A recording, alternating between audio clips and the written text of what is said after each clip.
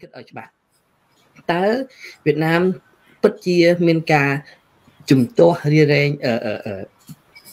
រៀបរៀងហ្នឹងដោយសារមូលហេតុអ្វីបើយើងមើលតាមការរៀបរាប់វៀតណាមនឹងលើកឡើងតែពីមូលហេតុតែមួយគត់គឺប៉ះពាល់បរិស្ថានបាទហើយបើសិនជាប៉ះពាល់បរិស្ថានតែប៉ុណ្ណឹងតើ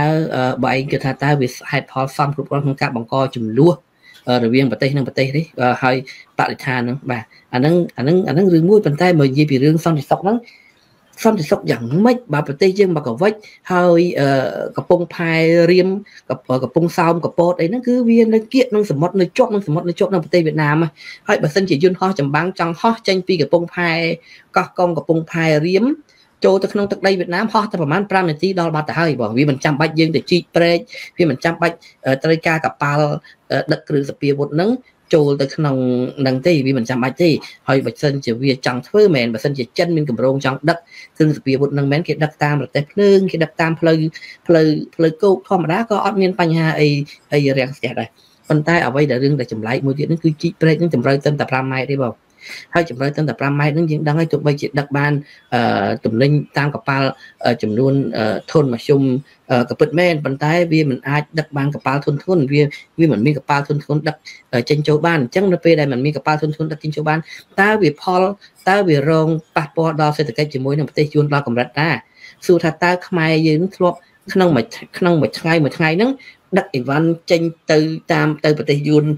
តាមច្រកប្រទេសយួនហ្នឹងប្រហែលតាមផ្លូវទឹកណាបងប្អូនដែលរស់នៅតាមដងទន្លេមេគង្គបងប្អូនជួយតាមដានជួយមើលផងថាតើ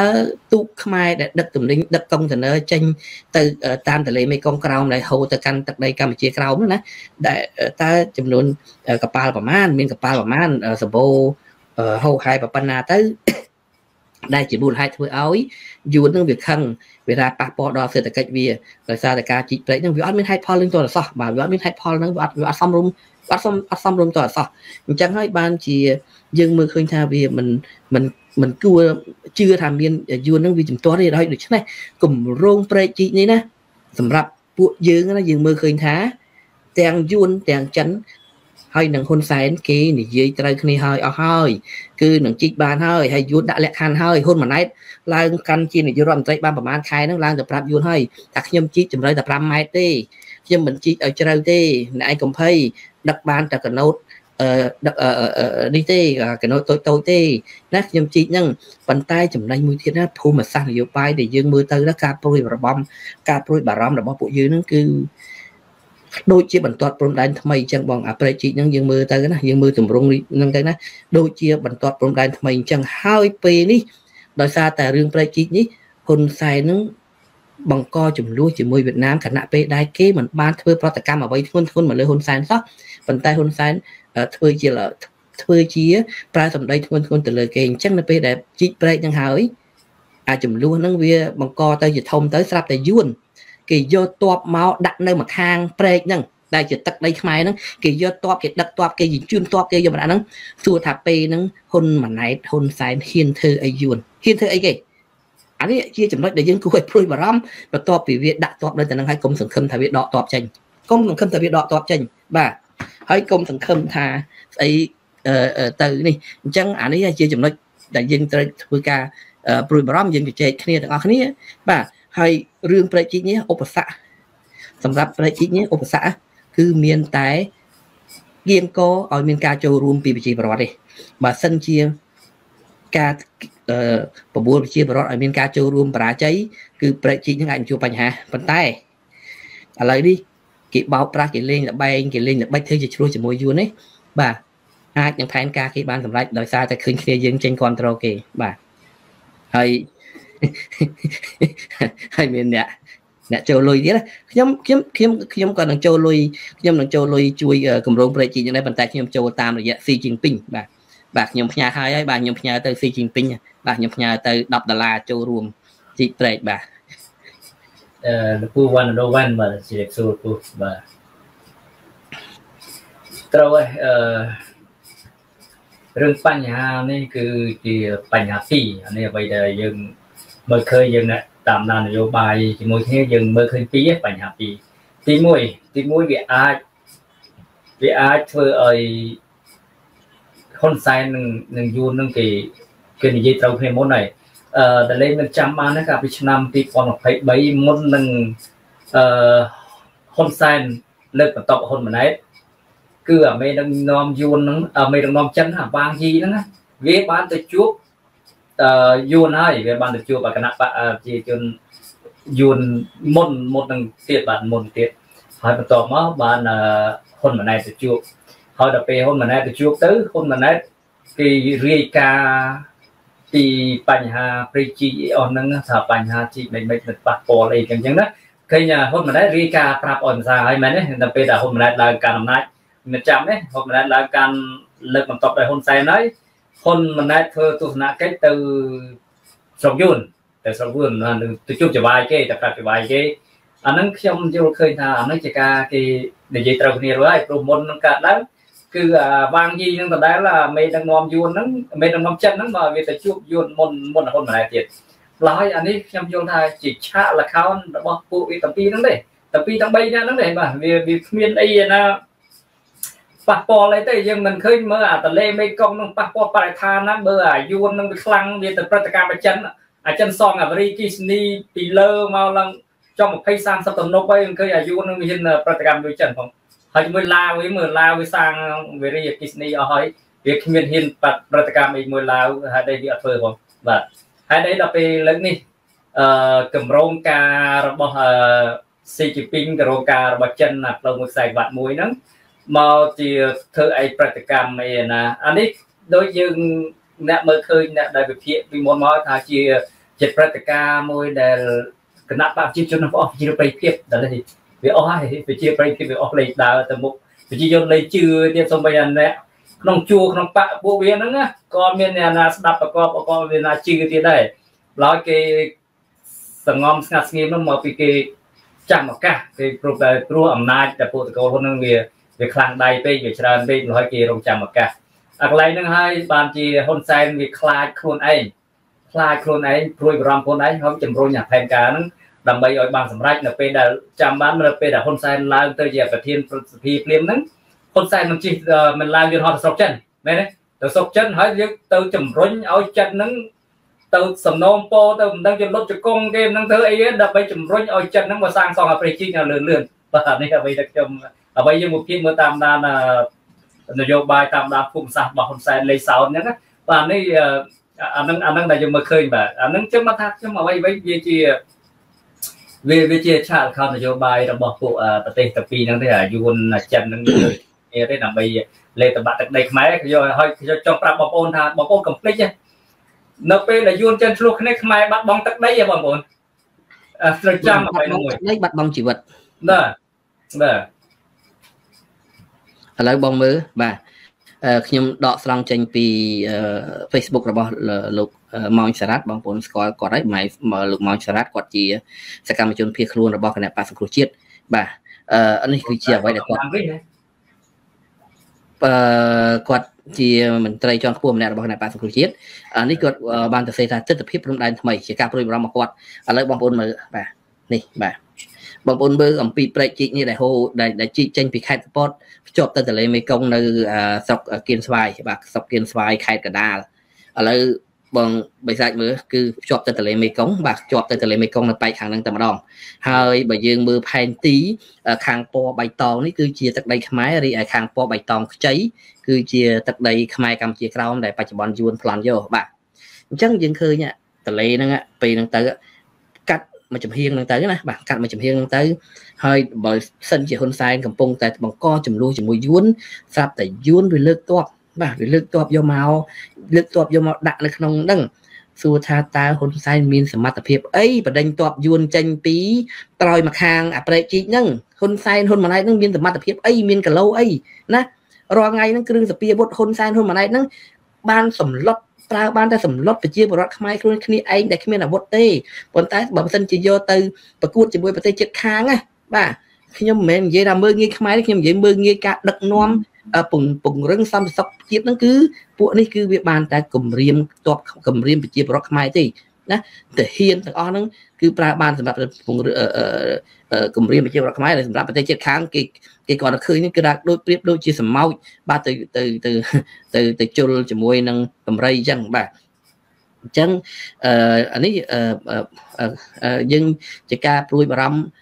របស់ពួកយើងនៅក្នុងការធ្វើហ្នឹងហើយប្រេកជីកហ្នឹងគេកម្រិតតែ5ម៉ែត្រហ្នឹងបាទមានកុំកុំភ្លេចណាបាទប្រេកជីកជម្រៅ5ម៉ែត្រហ្នឹងมันប្រើប្រើសឹងថាមិនដឹងជាបានការងារអីខ្លះខ្ញុំខ្ញុំនិយាយហ្នឹងមិនមែនថាវាមិនគ្រប់ត្រទេប៉ុន្តែបើជីក 10ម៉ែត្រខ្ញុំខ្ញុំខ្ញុំគិតថារឿងហ្នឹងវាវាអាចនឹងរឿងល្អរឿងល្អព្រោះយើងអាចមានកប៉ាល់ដឹកទំនិញចេញចូលធំបានហើយយើងមានសក្តានុពលតែម្ដងប៉ុន្តែវាអត់មានបាទអត់មានណាបាទហ្នឹងហើយហើយទំនិញយើងដឹកចេញទៅសមុទ្រហ្នឹងមិនដឹងជាមានស្អីបាទនឹងជាមានស្អីណាបាទបាទហ្នឹងឯងមានដឹកនេះដឹកឈើបាទដឹកឈើចេញដឹកសាច់ចេញហ្នឹងឯងដឹកឈើចេញដឹកសាច់ចេញដឹកថ្ម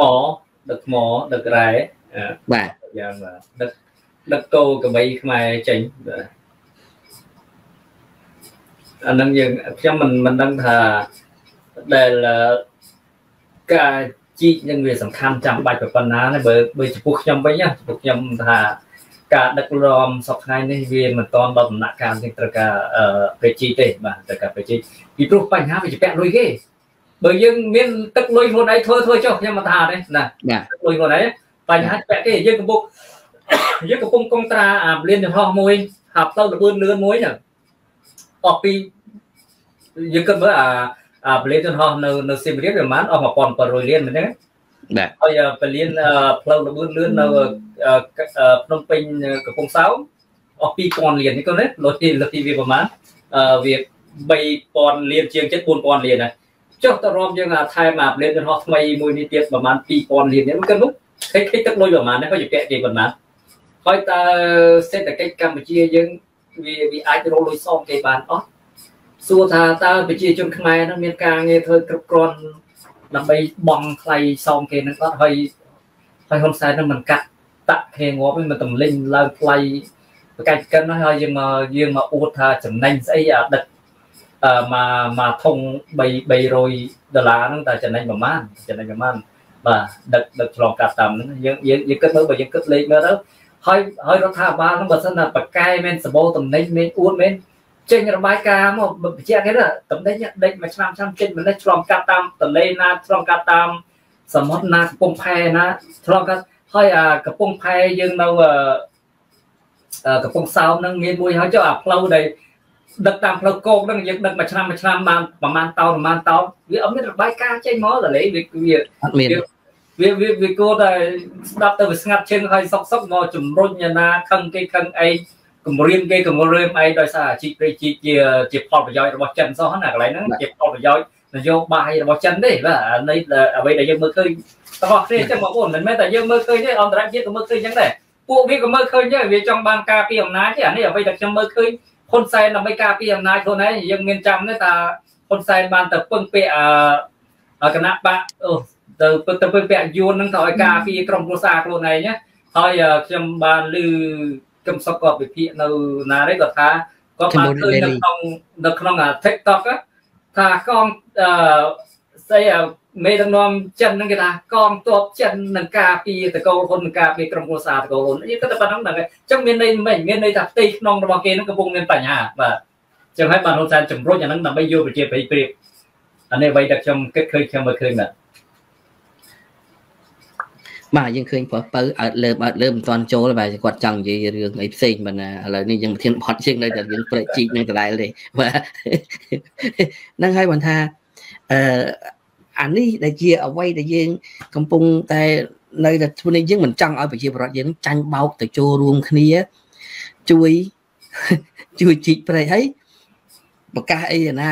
ចូលលុយចូលអីកុំកុំប្រអីណាទៅប្រកាសចូលលុយចូលអីហ្នឹងងាប់ហើយខ្ញុំខ្ញុំខ្ញុំក៏ប្រកាសដែរខ្ញុំចូលលុយប៉ុន្តែខ្ញុំផ្ញើតាមស៊ីជីងពីងអត់ទៅផ្ញើទៅហ៊ុនសែនអត់ផ្ញើទៅពួកគណៈបព្វជិជននៅអាមេរិកទេណា ខ្ញុំលុយខ្ញុំបើចូលរួមខ្ញុំផ្ញើ direct ទៅស៊ីជីងពីងបណ្ដោយខ្ញុំថារឿងចូលលុយហ្នឹងបើហ៊ុនសែនប្រកាសគេមានអុកញ៉ាគេ2000នាក់ហ្នឹងគេឲ្យម្នាក់មួយលានម្នាក់លានហ្នឹងវាខ្វះទេបាទហើយពីពួកយើងអ្នកក្រីក្រអ្នកធ្វើការពឹងកម្លាំងរស់អឺមួយទឹករស់មួយទឹកអញ្ចឹងយើងមិនបាច់ចាំចូលជួយអីប្រហែលទេបាទពីព្រោះវាអត់មានបានផលប្រយោជន៍ដល់យើងផង យើងគ្រាន់តែជួយដាស់តឿនប្រាប់បញ្យល់ដល់ប្រជាពលរដ្ឋឲ្យដឹងឲ្យប្រជាពលរដ្ឋដឹងខ្លួនឲ្យប្រជាពលរដ្ឋយល់ពីបញ្ហាភូមិសាស្ត្រនយោបាយដែលចិនចង់បានអានេះជាមហិច្ឆតារបស់ចិននេះបាទជាកម្រោការរបស់ចិននេះជាពួកខ្មែរអត់មានតាក់ទងអ្វីទាំងអស់ហើយបញ្ហាយួននឹងវាអាចព្រួយបារម្ភក៏អាចបានដែរពីព្រោះវាខ្លាចខ្លាចចិនបាទខ្លាចចិនពីព្រោះដលេមានដឹងទេអាសមុទ្រចិនខាងត្បូងហ្នឹងណា បើសិនជាកប៉ាល់ចម្បាំងចិនវាឆ្លងកាត់សមុទ្រចិនខាងត្បូងហ្នឹងមកដល់សមុទ្រកម្ពុជាវាទៅរួចទេម្ល៉េះហើយអ្វីដែលវិជីកាត់តាមហ្នឹងណាលោកសំរស៊ីបានមានប្រសាសន៍ហើយប្រហែលជា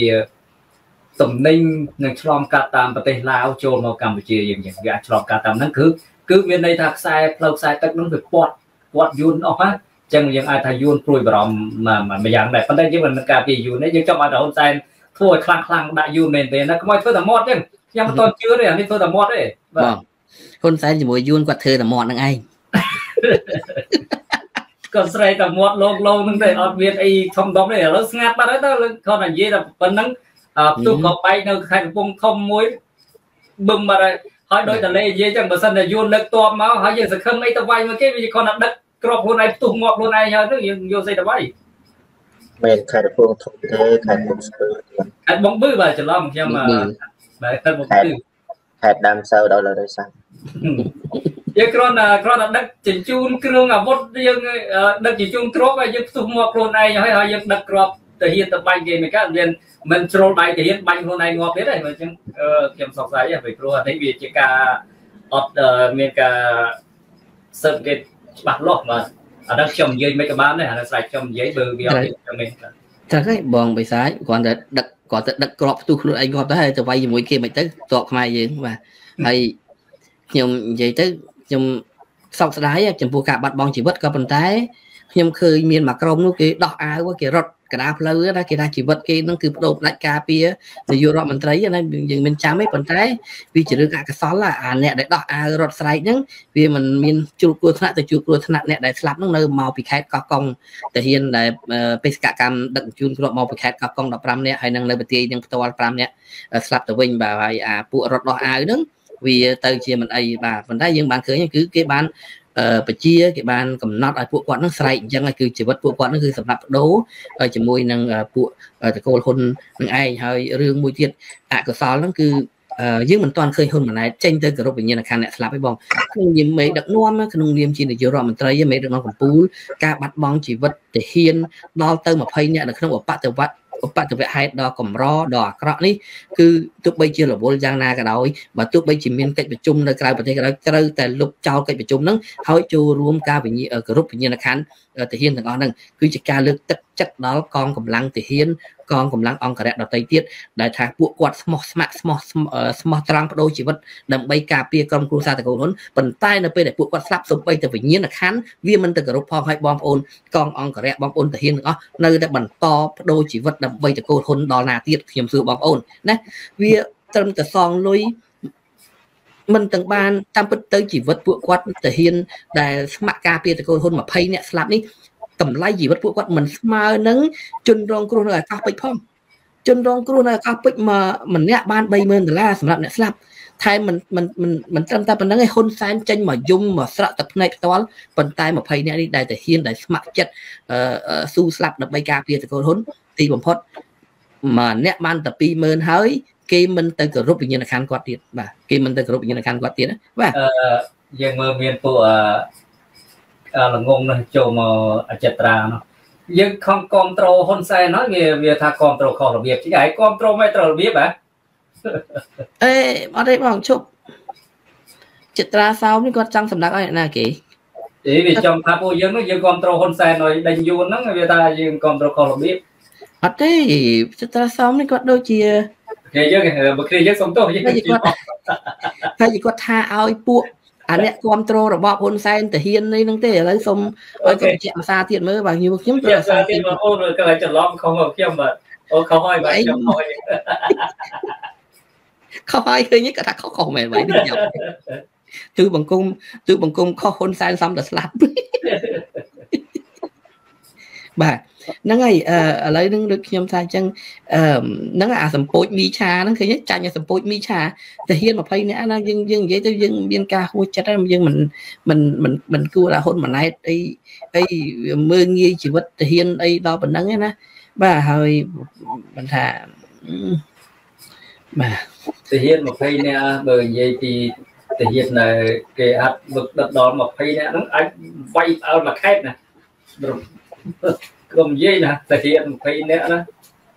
អាចហាត់ដិតដល់អាចវាយបានមួយខេតមួយខេតនោះវាយផ្អើល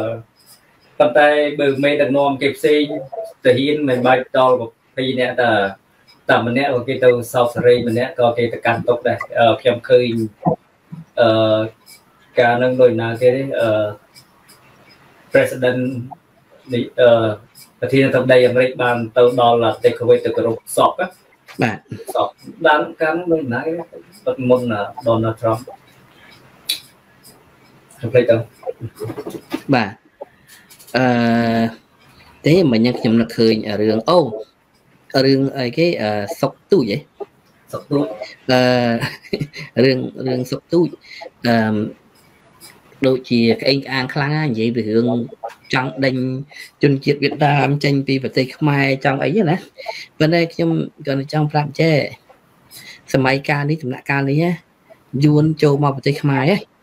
អត់មានចូលមកដើម្បីរស់នៅដោយការពីជំនាន់មុនទេណាពីព្រោះយួនធ្វើការរោងចក្រនៅស្រុកយួនបានប្រាក់ខែជាងខ្ពស់ជាងកម្មករខ្មែរមានការងារធ្វើច្រើនជាងកម្មករខ្មែរជីវភាពរស់នៅរបស់ប្រជាជនយួននៅប្រទេសយួនបច្ចុប្បន្នហ្នឹងគឺរស់នៅស្រួលជាងប្រជាជនខ្មែរម្ហូបអាហារទំនិញវាអីគឺធូរថ្លៃជាងជាងប្រទេសខ្មែរទាំងអស់បើក្រៅតែពីយួនដែលចូលមកដើម្បីធ្វើការឈ្លានពានធ្វើជាចារកម្មអានឹងមានប៉ុន្តែអឺ មិនបាច់ទេបាទមិនបាច់គម្រាមរឿងដេញពួកយួនដេញយ៉ាងអីទេ បាទវាមានតែអឺឥឡូវនេះវាមានពួកវាចូលមកហ្នឹងបើថាវាមកហ្នឹងគឺវាមកធ្វើជាម្ចាស់តែម្ដងវាមិនមែនធ្វើជាកម្មករសំណងដូចមុនទេការខ្ញុំនៅក្មេងៗការជំរឿននៅក្មេងៗការពីជំរឿនក៏ទឹមតែដោះរោមតឡាចណាគឺសម្បូរសម្បូរកម្មករសំណងយួនសម្បូរចូលមកមើលដែរស្រីមក នេះស្រីម៉ៅចូលមើលហៅឈ្មោះបងបិសាចមួយថ្ងៃគាត់កំឡៃអត់ឆ្លើយមួយគាត់វិញបាទអត់បានឃើញបាទហើយឃើញបងភៀបហ្នឹងក៏មកដែរបាទគាត់បងភៀបហ្នឹងគឺតើលួងគាត់បន្តិចមិនបានបាទបងភៀបបងភៀបឯអូនភៀបបងឯងហៅអូនបានខ្ញុំហៅអត់បានទេ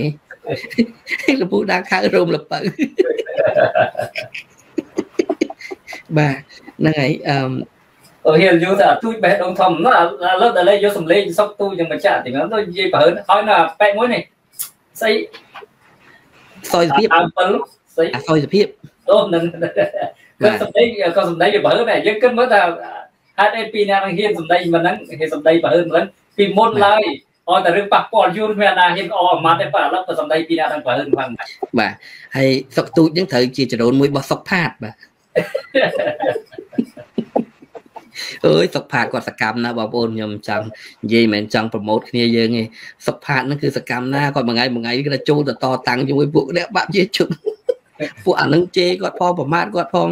បាទហ្នឹងហើយអូខេឥឡូវចាំខ្ញុំទៅយកមករកសម្លេងសុកទូចបាទឥឡូវទុកឲ្យព្រះអាឡុចបើយើងគាត់ចូលមកក៏ធ្វើមុខស្អុយចឹងឥឡូវស្វាគមន៍មកឲ្យចូលមកធ្វើមុខស្អុយចឹងមើលឲ្យមានមតិយោបល់មួយម៉ាត់ពីរមកថាបើដាក់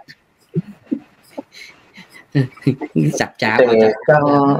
ចង់និយាយយូរតែតែប៉ុន្តែមិនឲ្យនិយាយផងនិយាយតែពីរនាក់និយាយសិនទៅឥឡូវមិននិយាយមិនចូលមកគេឲ្យគេឲ្យនិយាយហ្នឹងឲ្យធ្វើម៉េចប៉ុន្តែអញ្ចឹងយើងអង្គុយម្លឹងមើលនេះណាឥឡូវមិនបាច់និយាយគុណបងប្អូនផងណាខ្ញុំអត់ចង់និយាយជំរាបសួរពុកម៉ែបងប្អូនទេគាត់ពីរនាក់ហ្នឹងគាត់ឲ្យខ្ញុំនិយាយចូលមកបាត់រហូតឃើញអូនមិនមែនមកទេណាមកខ្ញុំទេណាឥឡូវលើកដេចគុណឡើងសិនកុំឲ្យដេចគុណទៅសា គុណនឹងសាក់ស្អីមិននិយាយម្ដងស្វាគមន៍ទៅគុណហ្នឹងហើយពូហ្នឹងពូណាស្វាគមន៍មានអ្នកអនសពុនចិត្តអីពាក្យណាអត់អត់អត់អត់សពុនចិត្តគេណាអត់ឲ្យនិយាយគេណាអង្គុយមើលអង្គុយម្លាក់អង្គុយម្លាក់អត់បញ្ហាកុំចាស់វាអត់អត់ពិបាកអត់ពិបាកអានេះហៅចាំចាំឆ្ងាញ់ណាដូចបាយហូបចាំតែឈ្មោះត្រីពុកគេទុកអោយត្រឹបគេទុកអោយក្រោយទូឯងគុណចាតែពាក្យខ្មែរយើងគេថាស្រីពូច្រើនតែបានស្រែតែឃើញ ឃើញប្រិយមិត្តគាត់ជម្រាបសួរមករហូតនិយាយតាមណាបើគាត់ពីរអ្នកបន្តកតុយគ្នារហូតបើកផ្លូវរួចបាត់គាត់ចាស់កណាទេម៉េចកើសំតប្រិមិត្តផងណាស់ដែរអូបងជំរឿនជំរាបសួរធ្វើមិនដឹងមិនទេគេអត់បើកទ្វារចូលវាសំខាន់ដល់រឿងគេបើកទ្វារតែឃើញមុខគាត់ឲ្យឃើញមុខញ៉ាំញ៉ាំញ៉ាំញ៉ាំញ៉ាំម្លែងម្លែងហ៎ជំរឿនណាមានមានចាំព្រំមាញ់គាត់គាត់ថាទេអាឡានពងបើកលឿនណាឡានពូចាប់ហ្វ្រេងអត់បានណា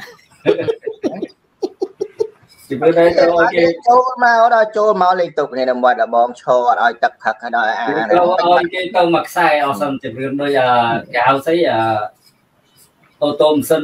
លើអូតូតិចតែចុចកាយហើយទៅមករាវសិនទៅអស់មួយខ្សែវាហ្នឹងបងប្អូនថាធ្វើកូនពៅគេមិនស្រួលប៉ុន្មានទេចិត្តគេចង់ឲ្យចូលចូលឲ្យដេតដេតឲ្យសោសោបាក់អញ្ចឹងណាឥឡូវមិនបាច់ទេឥឡូវគុណមុនចូលឲ្យជំរឿនអង្គុយស្ដាប់ពីគុណទៀតដល់ទៀត អ្នកឃើញថ្ងៃនេះញាតិញោមក៏ទេសនាច្រើនដែរណាកណាញាតិញោមឡើងមកទេសនាបងប្អូនជួយ share បន្តទៀតកំពុងតែកើនចឹងឲ្យសូមឲ្យបងប្អូនជួយ share បន្ថែមផងហ្នឹងហើយបងប្អូនថ្ងៃនេះគឺប្រហែលជាប្រធានបទនឹងក្តៅទៅក្តៅទៅឥឡូវពេលយើងចាប់ដើមដំណើរការល្អតិចតិចហើយបងប្អូនជួយ share បន្តទៀតដើម្បីចិត្តជំរឿនកុំតូចចិត្តអានខមមិនម៉ាក់យាយម៉ាក់វ៉ាន់សាក់នៅជំរឿនកុំតូចចិត្តណាអូយទៅអានមិនម៉ាក់អូសៃម៉ៅបងមើលឃើញដល់ណាផ្លេចសៃម៉ៅវិញក៏ គឹកចាអឺញោមប្រធានបទនិយាយពីអីចេះថ្ងៃនេះប៉ុន្តែពីរឿងប្រតិជីកតរ៉ៃនោះហើយគណៈបានបង្ហាញមុននេះបានបង្ហាញផែនទីអឺដែលបងម៉ែនសារ៉ាម៉ោញសារ៉ាត់គាត់យកទៅបង្ខំអាចជាចំណុចព្រំដែនថ្មីហើយគូផ្សំទៅនឹងហ៊ុនសែនធ្វើជាឆ្លោះធ្វើជាខ្លាំងដាក់យួនហើយអញ្ចឹងនៅពេលដែលយួនគេធ្វើជាខឹងមកវិញ អាចអាហ៊ុនសែនធ្វើជាខឹងអាហ្នឹងវាជាចំណុចចាប់ដើមប៉ុន្តែនៅពេលដែលយួនគេធ្វើជាខឹងមកវិញតែគេលើកតបមកដាក់នៅក្បែរព្រំដែនទៅហ្នឹងគិតយ៉ាងម៉េចទៅគុណចាស់អឺចុះចុះដូចខ្ញុំធ្លាប់និយាយតលេតយួនខឹងវិញគឺខ្មែរបាត់ដីហ្នឹងមិនថាខ្មែរបាត់ដីបើហ៊ុនសែនខឹងយើងក៏ខាតដីហ៊ុនសែនខឹងយើងខាតដីយួនខឹងយើងបាត់ដីយួនខឹងបានដីតែខ្មែរខឹងបាត់ដី កណាយួនយួនបានដីបើយើងខាតណាដីយួនយួនខឹងបានដីខ្មែរខឹងបាត់ដីណាកណាហើយហើយហ្នឹងវាវាផ្ទុយទៅនឹងអ្វីដែលហ៊ុនសែនគេតែងតែស្រែកគេថារក្សាសន្តិភាពក្នុងតម្លៃណាក៏ដោយប៉ុន្តែអានេះគ្រាន់តែយួនគេស្រែកបន្តិចតួចរឿងប្រជែកសោះធ្វើឯងខ្លាំងចង់បបួលប្រទេសខ្មែរឲ្យឆេះទៅជាសង្គ្រាមគ្រាន់តែសម្ដីបន្តិចតួចប៉ុណ្ណឹងអញ្ចឹងហ៊ុនសែនកំពុងតែព្យាយាមបំផ្លាញសន្តិភាពខ្លួនឯងគុណចាស់នឹងពពាកដែលហ៊ុនសែនបានលើកឡើងប្រហែលថ្ងៃនេះហ่ะកណា តើមកសរុបសេចក្តីមកវិញគ្រាន់តែជាការសម្លាប់ស្មារតីជាតិនិយមទេកណាគិតធ្វើឲ្យយើងមើលឃើញថាអូដល់ពេលវេលាហើយហ៊ុនសែនទៅប្រឆាំងយួនហើយត្រូវទៅរួមដៃគ្នាចាក់ដៃមួយហ៊ុនសែនដើម្បីកម្ចាត់យួនច្រឡំទេយើងកុំអោយច្រឡំនឹងស្អីដែលជាល្បែងប្រជាពិធរបស់ហ៊ុនសែនហើយអាសូមអោយអំណះអំណាចអង់គ្លេសថា argument ណាអំណះអំណាងសូមអោយអំណះអំណាងនឹង 3ចំណុចយ៉ាងតិចដែលយកទៅធ្វើការត្រេះរិះដើម្បីបង្ហាញឲ្យអ្នកជាតិនិយមអាចបដូរការគិតថាហ៊ុនសែនបណ្រើយួនហ៊ុនសែនត្រូវធ្វើរឿងមួយ ចំណុចទី1ដែលហ៊ុនសែនត្រូវធ្វើទាញយកសមានចិត្តពីអ្នកជាតិនិយមគឺហ៊ុនសែនត្រូវហ៊ានចាត់វិធានការយួនជួអាចដាក់បឹងទលីសាបប៉ុន្មានម៉ឺននេះចាប់តាំងពីខេត្តសៀមរាបមក5ខេត្តតំបន់ដែលបឹងទលីសាបហូកាត់គឺមានយួនទាំង5ខេត្ត ហើយអាត្មាមិនចង់ប្រើគំនិតទុតិធិមិនមានមនុស្សធម៌ទេ មានគំនិតសុតិធិបែបធម្មជាតិនិយមបរិស្ថាននិយមស្រឡាញ់បឹងទលីសាបគឺធម្មជាតិស្រឡាញ់បរិស្ថាន គឺចង់ឃើញយូនទាំងអស់នឹងគោរពច្បាប់គោរពច្បាប់ខ្មែរដែលរស់នៅលើទឹកដីខ្មែរគោរពច្បាប់ខ្មែរហ្នឹងហើយចំណុចទី1ឲ្យហ៊ុនសែនហ៊ានចាត់វិធានការ ដោយបញ្ជាក់អំពីតួលេខពិតប្រកបថាមានយូនប៉ុន្មានលាននេះឲ្យពិតប្រកបគុំអុយម្ដងថា100,000ម្ដងថា150,000ឥឡូវប្រហែលថ្ងៃដល់ពីខឹងថាមួយលាននេះសុកស៊ូថាមិនទៅថាទេណាហើយអង្កលប្រហែលកាលឆ្នាំ2021សខេងនៅជាឧបនាយករដ្ឋមន្ត្រីគេថាមានយូនមកដល់150,000នាក់នៅស្រុកខ្មែរប៉ុន្តែឥឡូវនេះភាសានឹងបានពីណាមកសុកស៊ូថាលាននេះចង់ដេញយូនរឹបលាននេះទៅស្រុកខ្មែរទៅស្រុកយូនវិញនេះនេះចំណុចមួយដែល យើងចង់ឃើញហ៊ុនសែនហ៊ានធ្វើរឿងហ្នឹងពិតប្រកបសិនចំណុចទី1ចំណុចទី2ដែលហ៊ុនសែនហ៊ានងើបប្រឆាំងជាមួយយួនតែមកអត់ចង់អោយហ៊ុនសែនទៅប្រឆាំងជាមួយនឹងប្រជាជនយួនជាមួយនឹងរដ្ឋាភិបាលយួនហើយទៅធ្វើឲ្យប៉ះពាល់ដល់ទំនាក់ទំនងសេដ្ឋកិច្ចនិងនយោបាយរវាងប្រទេសទាំងពីរដែលជាប្រទេសជិតខាងភូមិផងរបស់ជាមួយយើងចង់បានសន្តិភាពតែតែមកចង់ឃើញហ៊ុនសែនហ៊ាន ចេញជាសារាចរឬក៏ចេញអនុក្រឹត្យឬក៏ស្នើទៅអង្គព្រះមហាក្សត្រឲ្យចេញព្រះរាជក្រឹត្យដើម្បីបិទកុំឲ្យមានការសាងសង់ស្ទូបអនុស្សាវរីយ៍យួនខ្មែរ25ខេត្តក្រុងឬចេញនឹងវិញកុំដេញយួនចេញពីស្រុកដេញស្ទូបអនុស្សាវរីយ៍ចេញពីស្រុកទៅកុំតិចស្ទូបបានគឺជារឿងមួយដែលអស្ចារ្យមិនចាំទៅដេញយួនទេហ៊ុនសែនហ៊ានធ្វើនឹងអត់ហើយហ៊ុនសែនហ៊ានធ្វើនឹងអត់ចំណុចដែលសំខាន់សំខាន់ចំណុចទី3គឺហ៊ុនសែនហ៊ានសើឬ ចំណុចព្រំដែនដែលនៅក្នុងតំបន់តជាពិសេសនៅក្នុងតំបន់ត្រីកូនអភិវឌ្ឍតំបន់ត្រីកូនអភិវឌ្ឍនឹងគឺខេត្តទាំង4នឹងអាចបានទៅយូរណាបង្ហាញអានឹងច្បាស់មករឿងព្រែកជីកនេះហាអាចនឹងរងគ្រោះលើសពីតំបន់អភិវឌ្ឍរួមគ្នាវាសនាតែមួយរួមគ្នានៅក្នុងតំបន់ត្រីកូនមាសឬតំបន់ត្រីកូនអភិវឌ្ឍម្ដងមកនេះតើខ្មែរបានចំណេញសេដ្ឋកិច្ចប៉ុន្មានពីតំបន់ត្រីកូនអភិវឌ្ឍនោះម្ដងមកនេះយើងបានការអភិវឌ្ឍនៅក្នុងចំណុចនោះហើយបើវាព្រំដែនឲ្យយន្តចូលតាមអំពើចិត្ត ស្អីដែលបាត់ទៅវិញបាត់តាំងពីផ្លេសម្រងឡើងទៅគុំថាឡើយអារបស់មានតែតម្លៃក្រុមដីសំបីតែផ្លេសម្រងនៅលើដើមឈើសោះមកបេះផ្លេសម្រងខ្មែរទៅហ្នឹងអឺនៅស្រុកតាមាគេធ្វើពាក្យបណ្ដៅអង្គុយលឺមេឃហេតុគូតប៉ុន្តែនៅសៀមរាបគេប្រើពាក្យហេតុគូតទេគេប្រើពាក្យអាក្រក់ជាងនឹងទៀតអាផ្លែហ្នឹងគឺវាវានៅលឺមេឃវាប្រេះទី2បើញាតិញោមអត់ដែលស្គាល់វាយពាក្យផ្លែសម្រងណាប៉ុន្តែពាក្យហ្នឹងនៅក្នុងស្រុកតាមាគេសម្រងទេ ទៅស្រុកតាមាគេហៅផ្លែសម្រងផ្លែក្រហមក្រហមប្រពន្ធក៏ដៃបេកទី2ហ្នឹងហើយហើយគេគេរោគបណ្ដៅថាសុំអុយរោគបណ្ដៅខ្ញុំមើលអង្គុយលឺមេឃហេតុគូតផ្លែអីគេផ្លែសម្រងណាអញ្ចឹងគេគេទៅដាក់បណ្ដៅឲ្យមនុស្សឲ្យកូនក្មេងនៅទៅកើតនោះឲ្យស្គាល់អាដើមហ្នឹងពូហើយយូរមកមកដឹកយកតាពីអញ្ចឹងឡើងទៅលើពីនោះទៅទៀតមកដឹកយកតាំងពីផ្កាបបោះផ្កាស្មៅយកទៅធ្វើលំបោះមកដឹកពីស្រុកខ្មែរទៅប៉ុន្តែខ្មែរបានអីមកវិញអាតំបន់ត្រីកូនមានយើងអត់បានអីទេ អញ្ចឹងចំណុចទាំង3នេះដើម្បីឲ្យហ៊ុនសែនទៀងយកសមានចិត្តពីអាត្មាពីញោមដាលេពីញោមបៃសាច់ពីញោមជំរឿនអីហ្នឹងធ្វើរឿងទាំង3នឹងហ៊ានធ្វើអត់អាត្មានឹងតគឹមត្រូព្រែកជីហើយនឹងធ្វើយុទ្ធនាការគឹមត្រូព្រែកជីពូណនប៉ុន្តែបើហ៊ុនសែនធ្វើរឿង3នេះមិនបានទេគឺហ៊ុនសែនជីកព្រែកនេះស្មើនឹងរំកិលព្រំដែនដែលបោះបាន86%ដល់ថ្ងៃនេះណាមានន័យថានេះជាព្រំដែនថ្មីដែលយួននឹងបានដីថ្មីបន្ត ញោមសម័យគិតមើលយួនជីកព្រែកវិញទេ ពីឆ្នាំ82សម្រាប់បំណងនៅឆ្នាំ2019សម្រាប់បំណងនៅឆ្នាំ2019គឺគេចាប់ផ្ដើមជីកព្រែក82 83 85 2005ធ្វើសន្ធិសញ្ញាកំពីងបន្ថែម2019ព្រមទទួលស្គាល់អានឹងច្បាប់នឹងចូលជាធរមានព្រមទទួលស្គាល់អានឹងយូនទីពេលប្រហែលញោមយកលេខទៅដកមើល82ដកនឹង2019អត់ពីត្រូវ2019ដក1982ខ្ញុំឃើញប្រហែលឆ្នាំ គេធ្វើពេលវេលារបស់គេខ្ញុំដល់លេចែកមើលឃើញមកដកមើលឃើញមក2019ដកជាមួយនឹង1982 37ឆ្នាំ37ឆ្នាំបានគេបានសម្រេចបំណងរបស់គេ37ឆ្នាំគេបានសម្រេចបំណងរបស់គេហើយគេជីកព្រែកគេជីកព្រែកព្រែកជីកពូណនទៅជូននេះអាត្មាមើលឃើញថាគេស៊ីពីល30ឆ្នាំទៀតនៅពេលហ្នឹងគឺហ៊ុនម៉ាណែត ខ្លាយជាអធិរាជគ្រូសាហ៊ុនសែនអញ្ចឹងយួនបានព្រំដែនថ្មីមួយទៀតក្នុងពេលដែលជីកព្រែកវិញទេចាប់ពីខេត្តស្វាយរៀងមកចប់នៅព្រែកចាក់ខេត្តកពតព្រែកហ្នឹងមកចប់នៅនៅព្រែកចាក់អាត្មាធ្វើជិះឡានទៅមួយជាមួយនឹងកែមលីមកដល់ព្រែកចាក់នៃខេត្តកពតយើងស្រមៃថាពេលដែលបានព្រែកជីកវិញទេ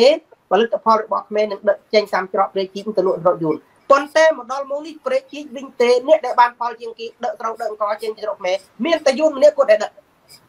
ហើយអាតំបន់ព្រែកជីកវិញទេហ្នឹងសូម្បីតែនៅច្រាំងខាងនេះក៏ខ្មែរមិនអាចចូលមើលបានផងអាស្នល់នៅលើព្រែកទាំងពីរហ្នឹងសងសងខាងហ្នឹងណាខាងនេះក៏យូនគ្រប់គ្រងខាងនេះក៏យូនគ្រប់គ្រងផ្លូវកណ្ដាលយូនអ្នកធ្វើចរាចរណ៍ហើយអានៅដីតាមព្រំប្រទល់អាព្រែកជីកវិញទេហ្នឹងគឺប្រជាពលរដ្ឋខ្មែរយើងជួលដីឲ្យយូនសគេងប្រាប់ថាកុំឲ្យជួលប៉ុន្តែនឹងជួលឲ្យគេអស់ដីរបស់គេបន្តិចទៀតណាព្រែកជីកពូណននេះណាបើថាគ្រប់គ្រងមិនបាន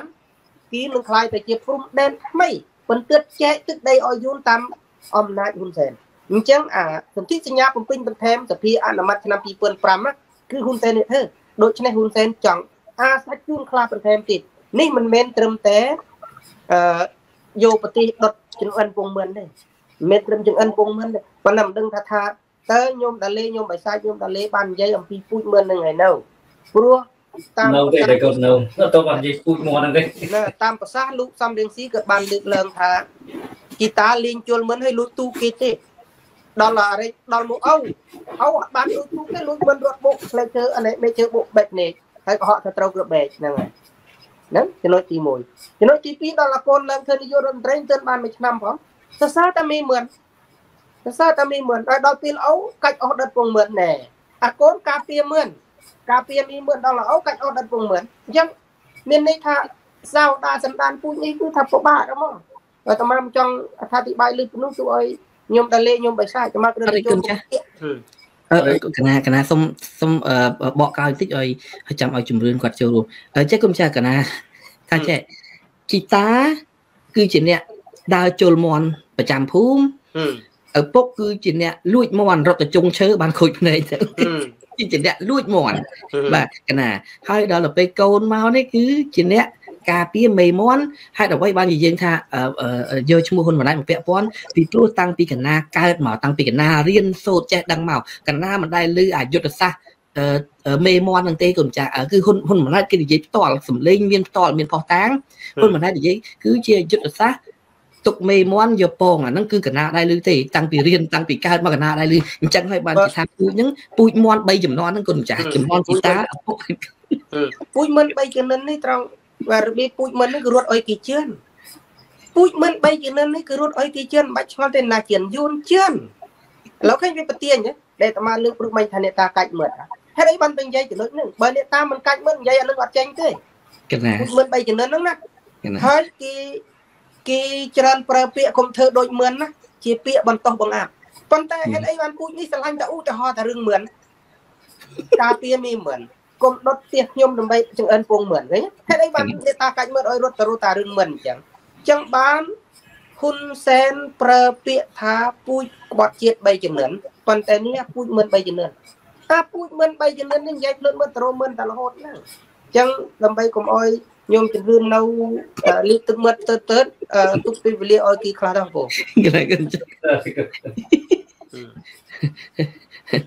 ណា អរគុណគុណចាស់ដែលនៅសម័យឃើញកណា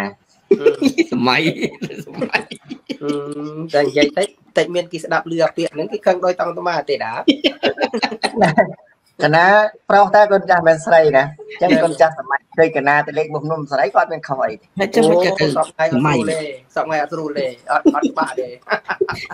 ហើយជំរឿនឯងចម្រើនពីសម័យមិននៅ level ម្នាក់នៅ level ចិត្តជួយចោះចិត្តចោះឡើងលេខចង់មើលពងណា ឥឡូវកណាចូលទៅនយោបាយរបបហ៊ុនសែនបន្តិចពាក់ព័ន្ធនឹងបច្ចុប្បន្ននេះ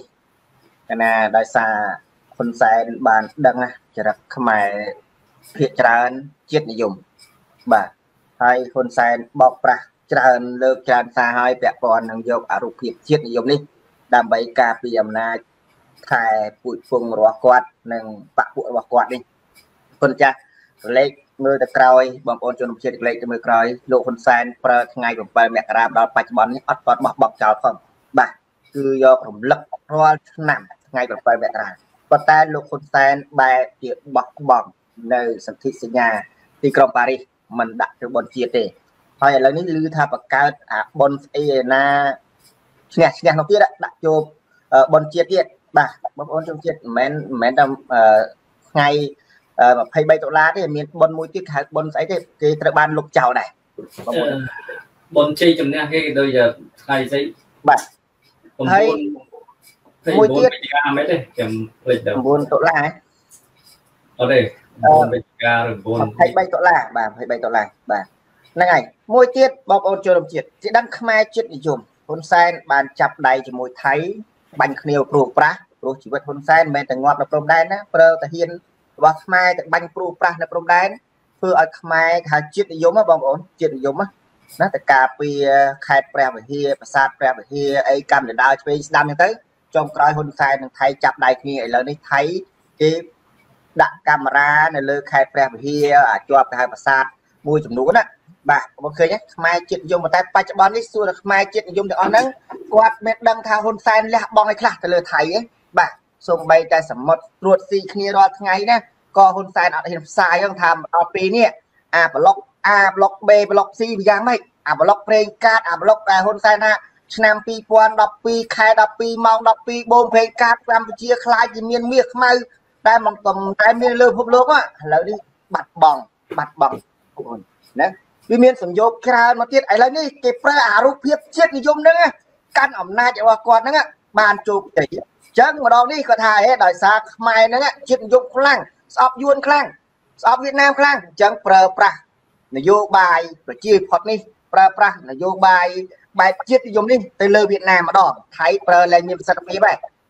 ថៃលែងប្រើមានប្រសិទ្ធភាពហើយអញ្ចឹងគេប្រើទៅលើវៀតណាមម្ដងបងប្អូនដើម្បីការពារអំណាចកូនអំណាចតទៅគេយកអាបេដូងខ្មែរជាតិនិយមហ្នឹងទៅប្រើលើមួយវៀតណាមគេនិយាយគ្នាមុនហើយបងប្អូនមិនបាច់ចាំទេបងប្អូនសម័យមើលមុនបោះឆ្នោត មុនទៅចិនហ៊ុនសែនមិនមែនទៅអោបចិនមុនគេទេគឺហ៊ុនសែននាំកូនចៅគាត់ទៅអោបវៀតណាមទៅសែនធ្នូថ្វាយបង្គំវៀតណាមមន្ត្រីរដ្ឋសភាមន្ត្រីអត្តសភាគ្រប់ទៀតចុះទៅវៀតណាមមុនបន្ទាប់មកបានដឹកដៃកូនទៅចិនអាណាបងប្អូនមើលនយោបាយចក្ខុវិស័យដែលមុនលោកហ៊ុនម៉ាណែតឡើងកាន់អំណាចអញ្ចឹងមកដល់ពេលនេះខ្ញុំមើលឃើញថាជារឿងនយោបាយដែលស្ពិនភ្នែក យកជាតិនិយមនេះដើម្បីមកដឹកនាំប្រទេសហើយគេបាននិយាយគ្នាជាមួយវៀតណាមហើយហីនិយាយជាមួយយួនហើយតោះតែយើងធ្វើរបៀបថាពិនភ្នែកឲ្យពលរដ្ឋខ្មែរអញ្ចឹងបានការពារតកូលហ៊ុនបាន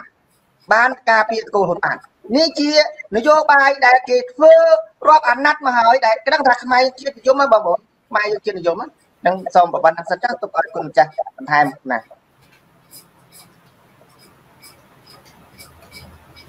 បិទយុទ្ធគុណម្ចាស់ អូខេញោមដាលេមិននៅញោមបិសាចចង់បន្ថែមអីបើមិនបន្ថែមទេតើទៅមកវគ្គទៀតនិមន្តនៅកូននិមន្តទៅចំណុចពោរឿងករណីហ៊ុនសែនទាញចំណាប់អារម្មណ៍ដោយមើលមកឃើញថាប្រជាពលរដ្ឋខ្មែរលឺលុកគុំចាស់លឺលុកមិនតែខ្ញុំដលេអើកណាចង់បង្ហាញចំណាប់អារម្មណ៍បន្តិចទេគុណហើយកណានឹងប្រកេននេះកណាចង់ share screen ឲ្យបងប្អូនយើងមើលទាំងអស់គ្នាអឺ បង្ហាញមើលពីផែនទីប្រទេសខ្មែរគុំចាស់អឺអូខេអឺបងប្អូនមានចាំគុណចាំមានចាំទេខេត្ត4ខេត្តដែលហ៊ុនសែនបានអោយវៀតណាមអឺរុស្ស៊ីធ្វើគេហៅថាតំបន់សេដ្ឋកិច្ចពិសេសហ្នឹងគឺខេត្តស្ទឹងត្រែងរតនគិរីមណ្ឌលគិរីនិងកញ្ចេះគឺ4ខេត្តនេះដែលមានពណ៌ស្វាយពណ៌លឿងនៅខាងនេះពណ៌បៃតងស្រាលហើយនិងពណ៌ទឹកក្រូចនេះ 4ខេត្តនេះគឺនៅមួយចំហៀងទន្លេមេគង្គតែម្ដងហើយឥឡូវនេះបើសិនជាគេធ្វើព្រែកជីកមកគុណចាស់ព្រែកជីកនេះចេញពីខេត្តកពតកាត់ទីក្រុងភ្នំពេញឆ្លងទៅគៀនស្វាយឥឡូវបើគុណចាស់ជាប់ជាប់ទាំងអស់នឹងមកហាងចំហៀងទន្លេមេគង្គហ្នឹងតើថ្ងៃក្រោយយើងអាចនឹងបាត់បង់ប្រទេសយើងមួយចំហៀងហ្នឹងទេគុណចានេះគឺជាការប្រួយបារម្ភពីព្រោះហ៊ុនសែនរបស់ហ៊ុនសែនហ៊ុនសែនបានធ្វើហើយអា4 4ខេត្តហ្នឹងគឺ ឲ្យទៅជាតំបន់សេដ្ឋកិច្ចពិសេសជាមួយនឹងវៀតណាមហើយឲ្យវៀតណាមធ្វើជាមេមេកៅគុណចាកណានឹកឃើញជាប់ដល់ពេលឃើញផែនទីមកមកសារក៏បង្ហាញហើយនឹកឃើញទៅដល់អា4ខេត្តដែលដែលហ៊ុនសែនដាក់ឲ្យធ្វើនឹងទៀតកណាមានការព្រួយបារម្ភខ្លាំងមែនទែនគុណចាស់ហ្នឹងឥឡូវកណាមិនបានដល់ពូត្រៃលេទាញអានឹងមកដាក់ត្រូវត្រូវសាច់រឿងហ្មងណាកណារឿងអារឿង4ខេត្តមុនហ៊ុនសែនធ្វើឲ្យចតសំនឹងស៊ីកាត់ដីឲ្យមុងកញ្ញាគេណា កណាហើយវាចេញញាត់កូនទុកសំនឹងស៊ីមកហើយវាចាប់ដើមធ្វើថាសំនឹងស៊ីក្បត់ជាតិកាត់ដីឲ្យយូនសហការមួយយូនណាគឺក្រោយពីលំលាយសង្គ្រោះជាតិហើយក្រោយពីលំលាយសង្គ្រោះជាតិហើយគឺថាវៃសំនឹងព្យាបនឹងយូនដើម្បីឲ្យប្រជាប្រិយ2018ហ៊ុនសែនយកតែឯង100ភេកអីវាធ្វើបានផ្លេចបំណងវាពូជនឹងធ្វើបានណាពូជពូជ13000ចំណិននឹងធ្វើបានធ្វើបាន100%ហ្មងហើយករណីជីកព្រែកព្រែកណែហ៊ុនននតេជូនណា 4ខេតដូចគ្នាយក4ខេតដូចគ្នា4ខេតគេយកបានភាគអេសានឥឡូវនេះគឺទិសបូហ្មងភាគខាងកើតគេយកពីព្រំបន្ទាល់ខាងនោះជិបបានដើម្បីបណ្រើឲ្យសេដ្ឋកិច្ចរបស់គេហើយគេយកមកផ្នែកខាងនេះដោយសារមានភាពងាយស្រួលព្រោះភាពងាយស្រួលរបស់យួនស្រួលនឹងរំកិលហើយស្រួលនឹងពង្រឹងសេដ្ឋកិច្ចព្រោះប្រេជីកវិញទេវានៅខេត្តកំពតប្រេចាក់ហ្នឹងអាជីកាត់សប្លាយនេះមិននៅមិនឆ្ងាយពីគ្នាប្រហែលទេ ហើយយើងបុកទៅនឹងទៅជិបឲ្យគេទាំងពីរគឺចេញពីភ្នំពេញបុកឆ្លងកាត់ទៅដល់ខេត្តកំពតហើយកែអញ្ចឹងវាមានអីឆ្ងាយពីអាផ្លូវហ្នឹងបើគឺទៅពីផ្លូវជាតិលេខ3ហ្នឹងអាព្រែកទីវិញទេហើយនឹងអាព្រែកទីហ៊ុនណណាទៅតែគ្នាហ្នឹងហ្មងហើយវាអាត្មាអត់មានផែនទីលំអិតនៅរឿងហ្នឹងប៉ុន្តែវាដើរទីមគ្នាហ្នឹងហើយដូច្នេះយួនប្រើពីល30ឆ្នាំជាងមុននឹងយកព្រែកវិញទេបាន100% ហហើយហ៊ុនសែនព្រមឲ្យគណៈកម្មការព្រំដែនបោះបង្គោលឯកតោភាគីបង្គោលធ្វើនៅស្រុកយួនអ្នកផលិតលើផែនទីជាស្ដែងអ្នកជំនាញការយួនកុយពិសីហើយនឹងសង្សារលួចលាក់របស់កើតស្វាស៊ីឡងគឺគ្រាន់តែទៅចូលចាំទៀតដែរទេហើយអាត្មាដឹងច្បាស់ថាមូលហេតុអីបានជាកុយពិសីឡើងឋានៈខ្ពស់ម្លេះទៅកាន់កិច្ចការព្រំដែនព្រោះនៅពីហ្នឹងគឺកុយពិសីនៅកមុំហើយវ៉ាគឹមហុងនេះឃើញមៀងហ្នឹងនេះតាមពួកនេះមន្ត្រីព្រំដែនដែលគេបានធ្វើការជាមួយគឺដឹង ហើយបានវ៉ាគឹមហុងនេះចាប់ដើមទាញនាងកុយពិសីឲ្យទៅនៅទីនក្បែរខ្លួនរហូតដល់អស់ចម្រោះបានវ៉ាគឹមហុងទៅចាស់ទៅទាញឆាក់ចូលមកដល់ថ្ងៃនេះហើយព្រំដែនយូនបោះរួចដល់ទៅ80%ជាងហើយហើយគេប្រើពេល30ឆ្នាំដើម្បីយកប្រេកនឹងបានឥឡូវអាដំណាក់កាលប្រេកនេះខ្ញុំដែលលើកឡើងណាគឺជាដំណើរការនៃការយក4មួយដង4 4 2ដង8ខ្មែរនៅសល់ប្រហែលខេតទេគេគ្រប់គ្រងតើខេតទាំង4 ទៅចេះស្ទឹងត្រែងរតនគិរីមណ្ឌលគិរីទាំង4នេះមានមន្ត្រីនៅក្នុងខេត្តទាំង4នោះរាយការណ៍ជូនរដ្ឋាភិបាលនិងថ្វាយព្រះមហាក្សត្រអំពីលទ្ធភាពនៃការទទួលបានចំណេញពីតំបន់ខេត្តទាំង4នោះប៉ុន្មានដងក្នុងមួយឆ្នាំអត់ដែលមានរបាយការណ៍ថ្វាយព្រះមហាក្សត្រហើយក៏មិនដែលមានរបាយការណ៍បញ្ជាក់ប្រាប់ប្រជាពលរដ្ឋខ្មែរឲ្យបានដឹងថាតើតំបន់សេដ្ឋកិច្ចពិសេសនឹងបានអីមកវិញនៅពេលនេះដូចទៅវិញតាមប្រសាសន៍របស់លោកអ៊ុំសំអាននិងលោកបណ្ឌិតកែមលីថា តំបន់ទាំង4នោះគឺយូននឹងគ្រប់គ្រងយកដាច់ដោយគិតផ្អែកលើទិដ្ឋភាព3ទិដ្ឋភាពទី1គឺទិដ្ឋភាពប្រជាសាស្ត្រទិដ្ឋភាពប្រជាសាស្ត្រគឺគេដាក់ក្របគ្នាជាមួយនឹងទិដ្ឋភាពសេដ្ឋកិច្ចនៅពេលដែលយូនមកយកខេត្តទាំង4នោះធ្វើជាការធ្វើទាំងជាការកៅស៊ូធ្វើទាំងជាការដំណាំផ្សេងផ្សេងហើយនៅក្នុងជាការនីមួយនីមួយក្នុងមហេតាយូនដាក់5នាក់មហេតាយូនដាក់5នាក់ហើយញោមគុណមើលដីរឹប2លានហេតា ដែលយូននៅក្នុងដីដី2លានហេតាយក2លានហេតាគុណនឹង5ញោមញោមឃើញហើយចំនួនទូលេខយូននៅក្នុងតំបន់នោះហើយលោកកែមលីថាគេយកខេត្តទាំង4នោះបានទី1គឺចំនួនប្រជាពលរដ្ឋតាមរយៈប្រជាសាស្ត្រទី2គឺតាមរយៈការគ្រប់គ្រងទីដីជាស្ដែងធ្វើជាការតាមរយៈសេដ្ឋកិច្ចនិងកសិកម្មហើយទី3គឺតាមរយៈអង្គើពុករលួយទិញមន្ត្រីពុករលួយនៅក្នុងខេត្តនឹងឲ្យចុះមើលគុំធ្វើការគុំរាយការថ្វាយព្រះមហាក្សត្រ ឥឡូវនេះតាំងពីឆ្នាំ2009តាំងពី2009ម្ដងថ្ងៃនេះយើងមិនដែលបានដឹងដំណឹងថាតើតំបន់ត្រីកនមាសឬតំបន់សេដ្ឋកិច្ចពិសេសនោះបានអភិវឌ្ឍដល់កម្រិតណាហើយរឹតខ្មែរបានចំណេញប៉ុណ្ណាយើងអត់ដឹងទេនេះនេះចំណុចដែលយើងត្រូវបារម្ភហើយយើងក៏មិនដែលបានដឹងដំណឹងថាតើនៅក្នុងលំហផ្លូវព្រែកជីកវិញទេនោះមានទូកខ្មែរប៉ុន្មានដែលដឹកទំនិញខ្មែរកាត់ព្រំដែនតាំងពីខេត្តកពតដល់ខេត្តស្វាយរៀង អានោះកាត់ដីខ្មែរណាខេត្តកពតដល់ខេត្តស្វាយរៀងខេត្តខ្មែរដីខ្មែរណាមិនបានយល់គ្រប់គ្រងមានអ្នកណាហ៊ាននិយាយរឿងនឹងតាមធ្លាប់មានរូបថតនៅព្រែកនឹងតាមទៅចូលចាំមើលជាមួយលោកកែមលេខគឺថាទូកយន្តចេញតកទុយគ្នាម៉ែកុំថាលើយប្រើផ្លូវទឹកនឹងបានសំបីតែថតទូកយន្តនៅលើនឹងយន្តចេញមកកាក់ហើយយន្តគេធ្វើប្លុកកុសធ្វើកលែងយាមនៅលើព្រែកនឹងរហូតយើងអត់អាចធ្វើបានយន្តអាចបើកឡានបើកម៉ូតូលើខ្នងខ្នល់បានលើខ្នងព្រែកនឹងបានតែយើងមិនអាចដើរលើខ្នងព្រែក កុំថាឡើយបើឡានលើព្រៃដើរលើខ្នងព្រៃនេះអាត្មានិមន្តទៅជាស្ដែងមានរូបភាពទេអត់ទាន់អស់ទេរូបភាពដែលអាត្មាមានដូច្នេះក្តីព្រួយបារម្ភរបស់យើងបើសិនជាហ៊ុនសែនមិនបង្ហាញកម្លាំងអាភិបទេការគ្រប់គ្រងអុយទីព្រៃពូណនអាចនឹងជាកំហុសប៉ុន្តែអាត្មាលើកទឹកចិត្តអុយហ៊ុនសែនហ៊ានប្រឆាំងជាមួយយួនដោយលើកកតាទាំង3ខាងដើមបាញ់មិញហើយបង្ហាញកម្លាំងទៀតរឿងដែលព្រួយបារម្ភខ្លាំងមែនទែនមូលហេតុអ្វីការជីព្រែកកើតឡើងតែក្នុងពេលដែលជាតិដែលកំពុងបែកបាក់ ឆ្នាំ82អត់ទាន់មានរដ្ឋាភិបាលទេញាតិញោមឆ្នាំ82ខ្មែរកំពុងបែកបាក់ចែកព្រំដែនគ្នាខ្លះនៅជំរុំខ្លះនៅក្នុងប្រទេសខ្លះនៅក្នុងព្រៃហើយយួនសម្រុកជីព្រៃយើងទៅនឹងមានការរួមរួមសាមគ្គីគ្នាឆ្នាំ93ឆ្នាំ93យួនជីព្រៃមិនបាត់ឃើញទេហើយឥឡូវនេះក្នុងដំណាក់កាលដែលហ៊ុនសែនកំពុងកម្ចាត់អ្នកប្រជាធិបតេយ្យអត់មានសម្លេងចម្រុះនឹងតំណាងប្រជាពលរដ្ឋនៅសភានិងរដ្ឋាភិបាលថ្នាក់ក្រមជាតិហ៊ុនសែនសម្រុកជីព្រែកតើជាបំណងអី តើអាចដូចគ្នានឹងប៉ែទីទេយកគំនិតទៅធ្វើសង្យុខ្លួនឯងទៅនេះមិនមែនជាការបដិសេធនឹងអ្វីដែលហ៊ុនសែនចង់ធ្វើទេអាត្មាខ្លួនឯងនេះក៏មានឆន្ទៈចង់សរសេរសម្បត្តិទៅកាន់ហ៊ុនសែនមួយដែរក្លាហានឡើងទៅហ៊ានប្រឆាំងជាមួយយួនទៅប៉ុនប្រឆាំងចំណុចដូចអាត្មារៀបទាំង3បាញ់មិញខាងដើមណាហ៊ានធ្វើរឿងហ្នឹងបើហ៊ានធ្វើរឿងនេះហ៊ុនសែនពិតជាអស្ចារ្យប៉ុន្តែពូជមិនបីជំនិនណាមិនសន្មត់ថាអាចរត់បានឆ្ងាយទេយ៉ាងយូរ3ផ្ទះអុយគេពាកអើយអាមិនឈួតហ្នឹងបងអរគុណណាស់ ចុងក្រោយហ្នឹងគឺគឺបណ្ដាំប្រមាញទេកូនចារឿងមន់ធ្វើជារត់ហ្នឹងហើយអញ្ចឹងអាត្មាទុកពេលវេលាឲ្យញោមទៅ3នេះឲ្យញោមចង់សើចចង់ចំអកអាត្មាទៅមួយហ្នឹងអឺបងតែកូនអឺបើនិយាយអញ្ចឹងតកូលហ៊ុនហ្នឹងគឺឲ្យតែគេជន់លោតអញ្ចឹងជឿនរហូតរត់ឲ្យជឿនឲ្យហើយអត់មានអាកោខ្មែរជឿនបានទេអាកោយូនជឿនទេយូនហើយចិនយូនហើយធ្វើច្រាក់មន់ធ្វើច្រាក់មីមន់ បាទយូនមន់គោលហ៊ុនសែនមន់ញីអូខេចឹងអាទៅមុនហើយព្រោះនៅដាក់ទៀតគុំនេះគុំអាមាមើលបួតដែរណាកណែគុំអរេការពិតមិនដែរមានអីខុសអឺពួកនឹងគឺជាពូជមេមន់មែនយើងឃើញគាត់ភ្ជាប់ពូជគាត់មកតាំងពីជីតាមកណោះមិនត្រឹមតែហ៊ុនសែនទេជីតាគាត់ហ្នឹងគឺជាអ្នកជលមន់ប្រចាំភូមិហីអឺ នៅកំពង់ចាមនៅស្រុកអីគេនេះខ្ញុំភ្លេចបាត់ហើយបាទគឺអ្នកណាមានបីលោកតាខ្ញុំមានប្រវត្តិហ៊ុនសែនមកមួយខ្សែមកថ្ងៃណាខ្ញុំយកមកមកអានថ្ងៃណាអីស្អែកបដ ாய் ទៅកុំឲ្យយូរក្តៅក្តៅហ្នឹងហើយអឺយើងអានប្រវត្តិមេមន់ហ្នឹងហើយឥឡូវយើងទុកឲ្យជំរឿនកុំឲ្យថាយើង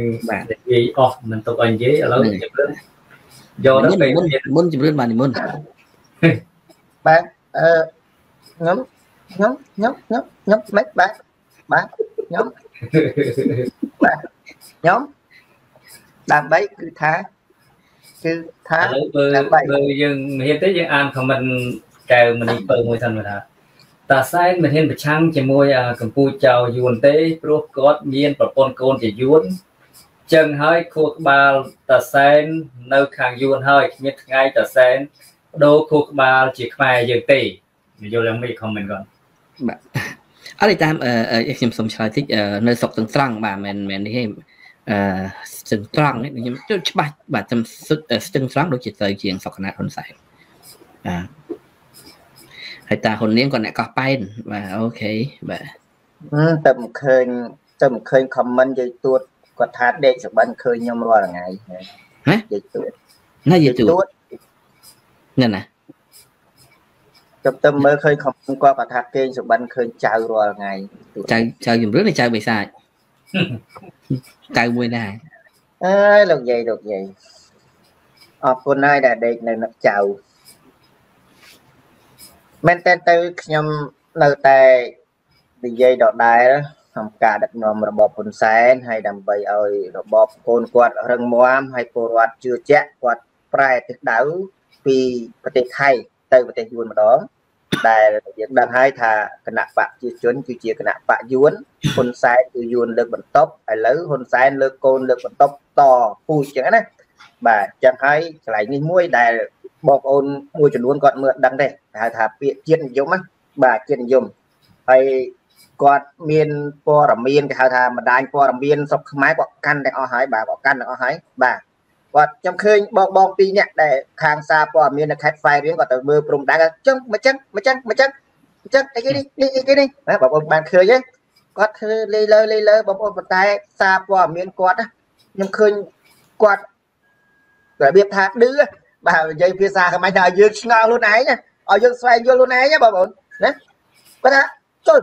ហើយព្រំដែនយូរណាចុះនេះបកគោលេគេនេះមិនចឹងមិនចឹងមិនចឹងណាបងប្អូនវិចារណាមើលទៅបាទហ្នឹងហើយដែល ខ្មែរយើងមួយចំនួនគាត់អត់ដឹងអត់តាមដានហើយគាត់អត់និយាយគាត់មើលផ្លាកបងប្អូនឲ្យឲ្យយើងយល់ណាក៏ឲ្យយើងចេះគិតណាកុំឲ្យគាត់ប្រាប់ថាណាឥឡូវព្រំដែនបង្ខិតចូលមកដីរាប់គីឡូហ៎កុំឲ្យគាត់និយាយចឹងឲ្យយើងចេះគិតអត់មានខួរគិតដល់គ្នាបាទឲ្យមានខួរគិតដល់គ្នាបងប្អូនអត់ហ៊ាននិយាយបញ្ហាព្រំដែនសូម្បីតែមួយម៉ាត់ឥឡូវនេះបែរទៅនិយាយបញ្ហាយួនបញ្ហាជីកព្រែកជីកបញ្ហាអីផ្សេងផ្សេងចំណេញខាតអីណៃណៃ រាល់ថ្ងៃនេះបងប្អូនគាត់ណាស្រូវអង្គយើងមានស្រាប់ហើយនេះគឺរកទីផ្សារលក់បានផងខែប្រដៅភាសាចិត្តមកដល់យើងនៅទិញពូជពីយួនឥឡូវនេះអ្នកតាមខេត្តព្រៃវែងស្វាយរៀងណាកំពង់ចាមកចេះស្ទឹងត្រែងពេលខែអាយើងថែខែធ្វើស្រូវបងមិនសាច់យើងយើងមុនធ្វើស្រូវមួយខែពីរខែណាយើងតាក់ទងមួយខាងយួនទៅទិញពូជយួនមកបានធ្វើបានស្រូវដីយើងណាឥឡូវណាបាទ ពេលទិញស្រូវបានមកហើយដោះស្រូវបានមួយចង្អានយើងត្រូវទិញជីពីយួនទៀតទិញជីពីយួនទិញប្រេងពីយួនអ្នកតាមព្រំដែនខ្វះទឹកទៅទិញទឹកពីយួនទៀតបាទណាហើយយួនវាប្រាប់ទៀតណាថាមិនទិញពូជស្រូវរបស់វាពេលស្រូវនឹងបានលក់វាអត់អត់ទិញយកទេបាទព្រោះគេថាពូជរបស់វាបានពូជល្អឃើញទេបងអូនអត់ដឹងរឿងស៊ីជម្រៅបងអូនប្រជាពលរដ្ឋនៅតាមបន្ទាត់ព្រំដែនទេតើតែបងអូន មានគ្រួសារមានបងប្អូនមានមិត្តភ័ក្តិនៅតាមព្រំដែនបងប្អូនស៊ើបសួរទៅបាទហើយបងប្អូនឃើញហើយមុនគេឲ្យជាតិនិយមគេថាអូសម្ដេចសខេងខាងមន្ត្រីគណៈបកជាជនមួយចំនួនគេថាឈប់ជួលដែរយួនថាតែលើហ្នឹងប៉ុន្តែក្រមទៅមើលមើលដីនឹងជួលឲ្យយួនដាំទំលោងដាំស្វាយចន្ទទីជាប់តាមព្រំដែនទាំងអស់ហ្នឹងបាច់ទៅមើលឆ្ងាយបងប្អូនស្រុកកោះធំយើងក្បែរទីក្រុងភ្នំពេញខេត្តកណ្ដាលទៅមើលបាទទៅមើលបាទបើវាលហ្នឹងគឺជួនបាន ដាំស្រូវឲ្យស្គាល់កាយខ្លះដាំយូរទៅអត់ឲ្យមកវិញផងបាទអត់ឲ្យមកខ្មែរវិញផងបាទជីកបន្លាយតូចតូចតូចតូចបហូរទឹកឲ្យពេញហ្នឹងបាទសួរមកបាទគេថាដីរបស់គេព្រំដែនគេនៅក្នុងដំទាត់សប៉ុន្តែគេធ្វើស្រូវបានរាល់ឆ្នាំអញ្ចឹងទៅណាវត្តបាក់ណាមវត្តអីបងប្អូនទៅមើលនៅអាយើងស្រុកកោះធំម្ដុំភូមិឈើខ្មៅបានទៅមើលមើលវាយ៉ាងម៉េចអានេះហើយបានបងប្អូនខ្លះគាត់អត់ដឹងទេគាត់ថា វោកវាក់វោកវាក់នៅលើតែម្ដាយព័ត៌មានមកថាឲ្យពួកប្រឆាំងអីចឹងក៏ពិតអ្នកទាំងអស់នឹងអត់ដែរស្គាល់ព្រំដែនមិនទេហើយគណៈបកប្រឆាំងចុះមើលព្រំដែនគេថាជលនិយមតែដល់ពេលគណៈបកជាជនណែនាំបងប្អូនទៅមើលព្រំដែននេះ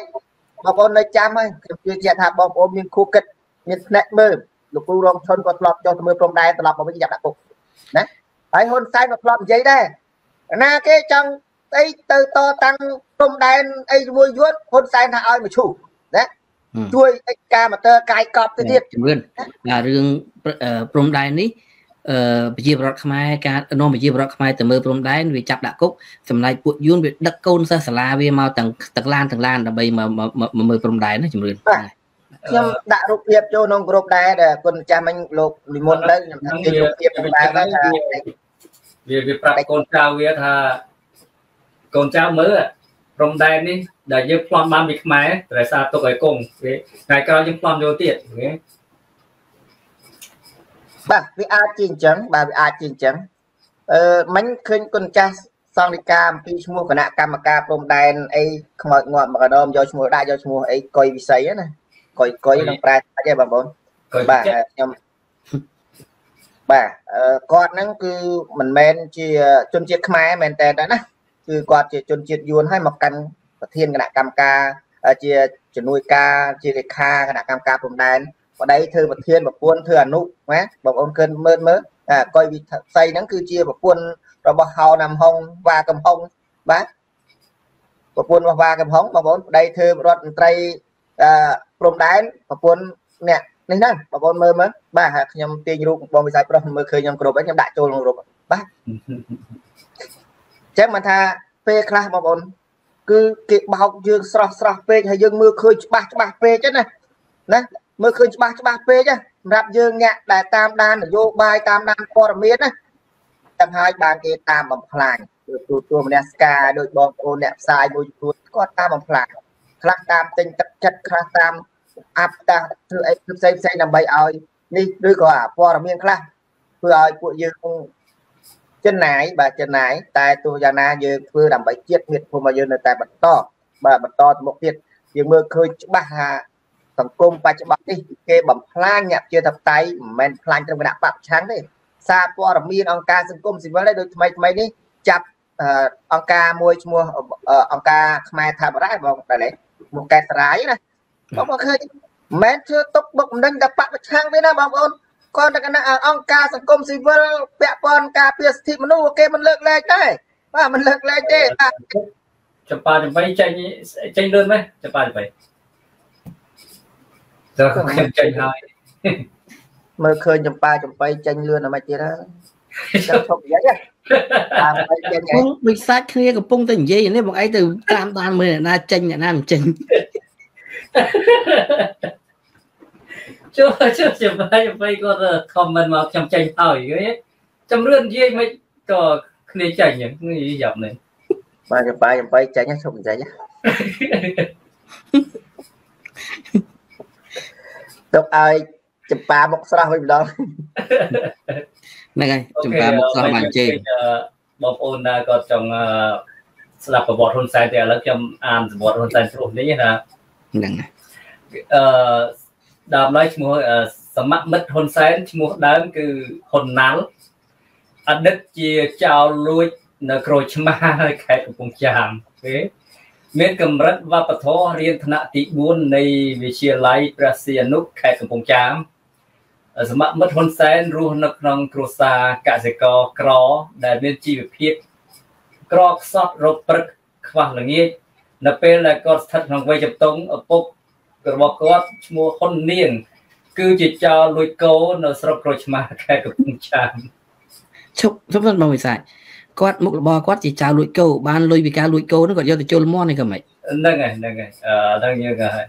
ហើយក្រៅពីមុខរបរលួចគេហ៊ុននាងចូលចិត្តផឹកស្រាប្រមឹកនឹកលេងអាប៉ោងជាមួយខ្លារបស់គាត់ឈ្មោះលោក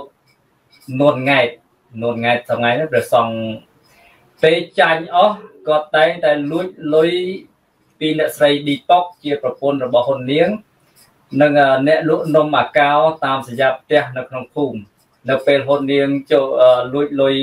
ទៅលេងអាប៉ោងអស់ធ្វើឲ្យអ្នកស្រីឌីប៉ុកអស់លុយទិញអង្គអូអញ្ចឹងហើយបានជាហ៊ុនបានអស់លុយទិញអង្គឲ្យកូនស៊ីជាហេតុនាំឲ្យហ៊ុនណាល់ពួកហ៊ុនសែនហ្នឹងតែងតែទៅលួចអង្គនិងមន់អ្នកស្រុកគេ ពួកគាត់សូម្បីតែគាត់ងួនណែតនិងនឹងហ៊ុននាងចាស់ចាស់ទៅហើយក៏នៅតែយកស្រីក្មេងមកដេកនៅក្នុងកុដរបស់សម្ដេចសង្ឃងួនង៉ែតដែរសម្ដេចសង្ឃងួនង៉ែតព្រះអង្គចូលចិត្តតែឆាន់ស្រីក្មេងៗទេបាទអានឹងខ្ញុំទុកអានប្រវត្តិ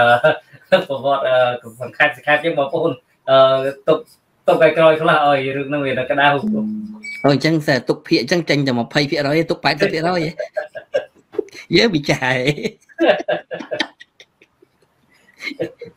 បងវិស័យបើថាទុកបើទុក80%កុំធ្វើដូចមីចាយទុកអត់អត់អត់ប្រអត់ប្រមបញ្ចេញមីចាយខ្ញុំអូមីចាយនោះវាមានអីទុកវាចាថាវាអស់ហើយនោះស្អីស្អីមកចេញដែរមិននាំចេញទៅទាំងអស់គ្នាយ៉ាមិននៅសល់តែយាយយាយអត់ចេញហ្នឹងមិនបាំងសបោចេញមែនណា ហើយឲ្យទៅសេពាក្យចេញគឺបងវិសាចអានខមមិនរហូត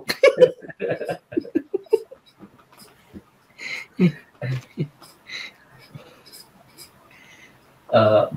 អូសម្បាចំបៃថាសេចមកទៅបួសហើយហ្នឹងជំរឿនតទៀតចុះមែនទេខ្ញុំបាទអត់ទេខ្ញុំអស់ហើយអឺបងវិសាគាត់អានតែ20%ទេ ហ្នឹងរឿងហ្នឹងយើងអានអស់ទៅវាអត់ព្រោះឆ្លើយយើងអានចេញមកមួយទៀតចាំចាំថាគឹមនោះចេញអីដែរអើសីម៉ៅក៏គាត់ថាចាំអូនផងសីចាំគ្នាកុំតន់ឲ្យចេញស្អានខមមិននោះចេញទៅរឿងផ្សេងឡើយបងបិសាច ត្រូវឲ្យបើពីខ្ញុំឃើញម៉ោងយើងវាវាវាម៉ោងកន្លះហើយដល់ពេលយើងអានខមមិនអានខមមិនបាទអានខមមិនគាត់យើងទុកកន្លះម៉ោងអានខមមិនគាត់មានអឺគេហៅថាយោបល់ពីនយោបាយឬក៏យោបល់ពីរឿងព្រៃជីកអាហ្នឹងយើងយើងពិភាក្សាគ្នាអញ្ចឹងណាហ្នឹងហើយយើងកុំឲ្យអង្គុយនិយាយតែឯងហ្នឹងគាត់អត់សុខគាត់ខំខមមិនយ៉ាងងាប់ខំសរសេរយ៉ាងងាប់យ៉ាងអត់មើលបាទហើយឥឡូវនេះខមមិនពីខាង YouTube គាត់ឈ្មោះខៀកយាយដាក់ថារឿងនេះជារឿងពិត ឆ្នាំ80ទៅបំពេញវិជា3ឆ្នាំនៅភ្នំពេញហ្នឹងក៏មានកងទ័ពការពារពេញឡានបាទឆ្នាំ80គាត់គាត់បែគាត់ខមមិនយូរហើយមើលទៅបាទយ៉ាអឺតាំងពី80នោះមើលនៅតែគាត់បាទឆ្នាំ80យូរហើយបាទយេ80ហ្នឹងចំនួនគាត់ដែលចូលវាយបែកព្រំពេញដំបូងចំនួន80ហ្នឹងប្រវត្តិ ឆ្នាំ80ក្រោយឆ្នាំ80រយៈពេលតែ2ឆ្នាំទេហ៊ុនសែនបានសញ្ញេកាត់កោះកាត់ដីកាត់អីណាយើងមានឯកសារទាំងអស់ហ្នឹងដែលជាហត្ថលេខារបស់លោកហ៊ុនសែនកាលនោះគាត់នៅមន្ត្រីហៅថាការបរទេសបាទបាទត្រីការបរទេសគឺគឺមានឯកសារទាំងអស់ហ្នឹងដែលហ៊ុនសែនកាត់កោះកាត់ព្រំដែនគោកព្រំដែនដីកាត់កោះកាត់ដីឲ្យទៅយួនហ្នឹងបាទអឺអេដាមអ៊ំសំអានក៏គាត់មានដែរបាទ ហើយមាន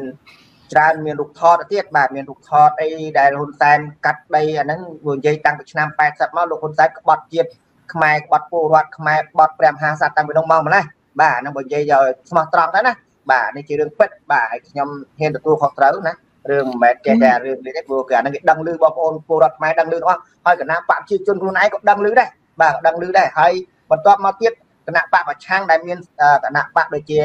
គណៈបកសំរងស៊ីកាលកាលនោះណាបានមានសម្លេងនៅក្នុងរដ្ឋសភា15កៅអីអាដាមញឹមសវណ្ណគាត់ឡើងការពីអំពីហៅថាកិច្ចព្រមព្រៀងដែលដែលជារៀងរាល់ឆ្នាំគេធ្វើ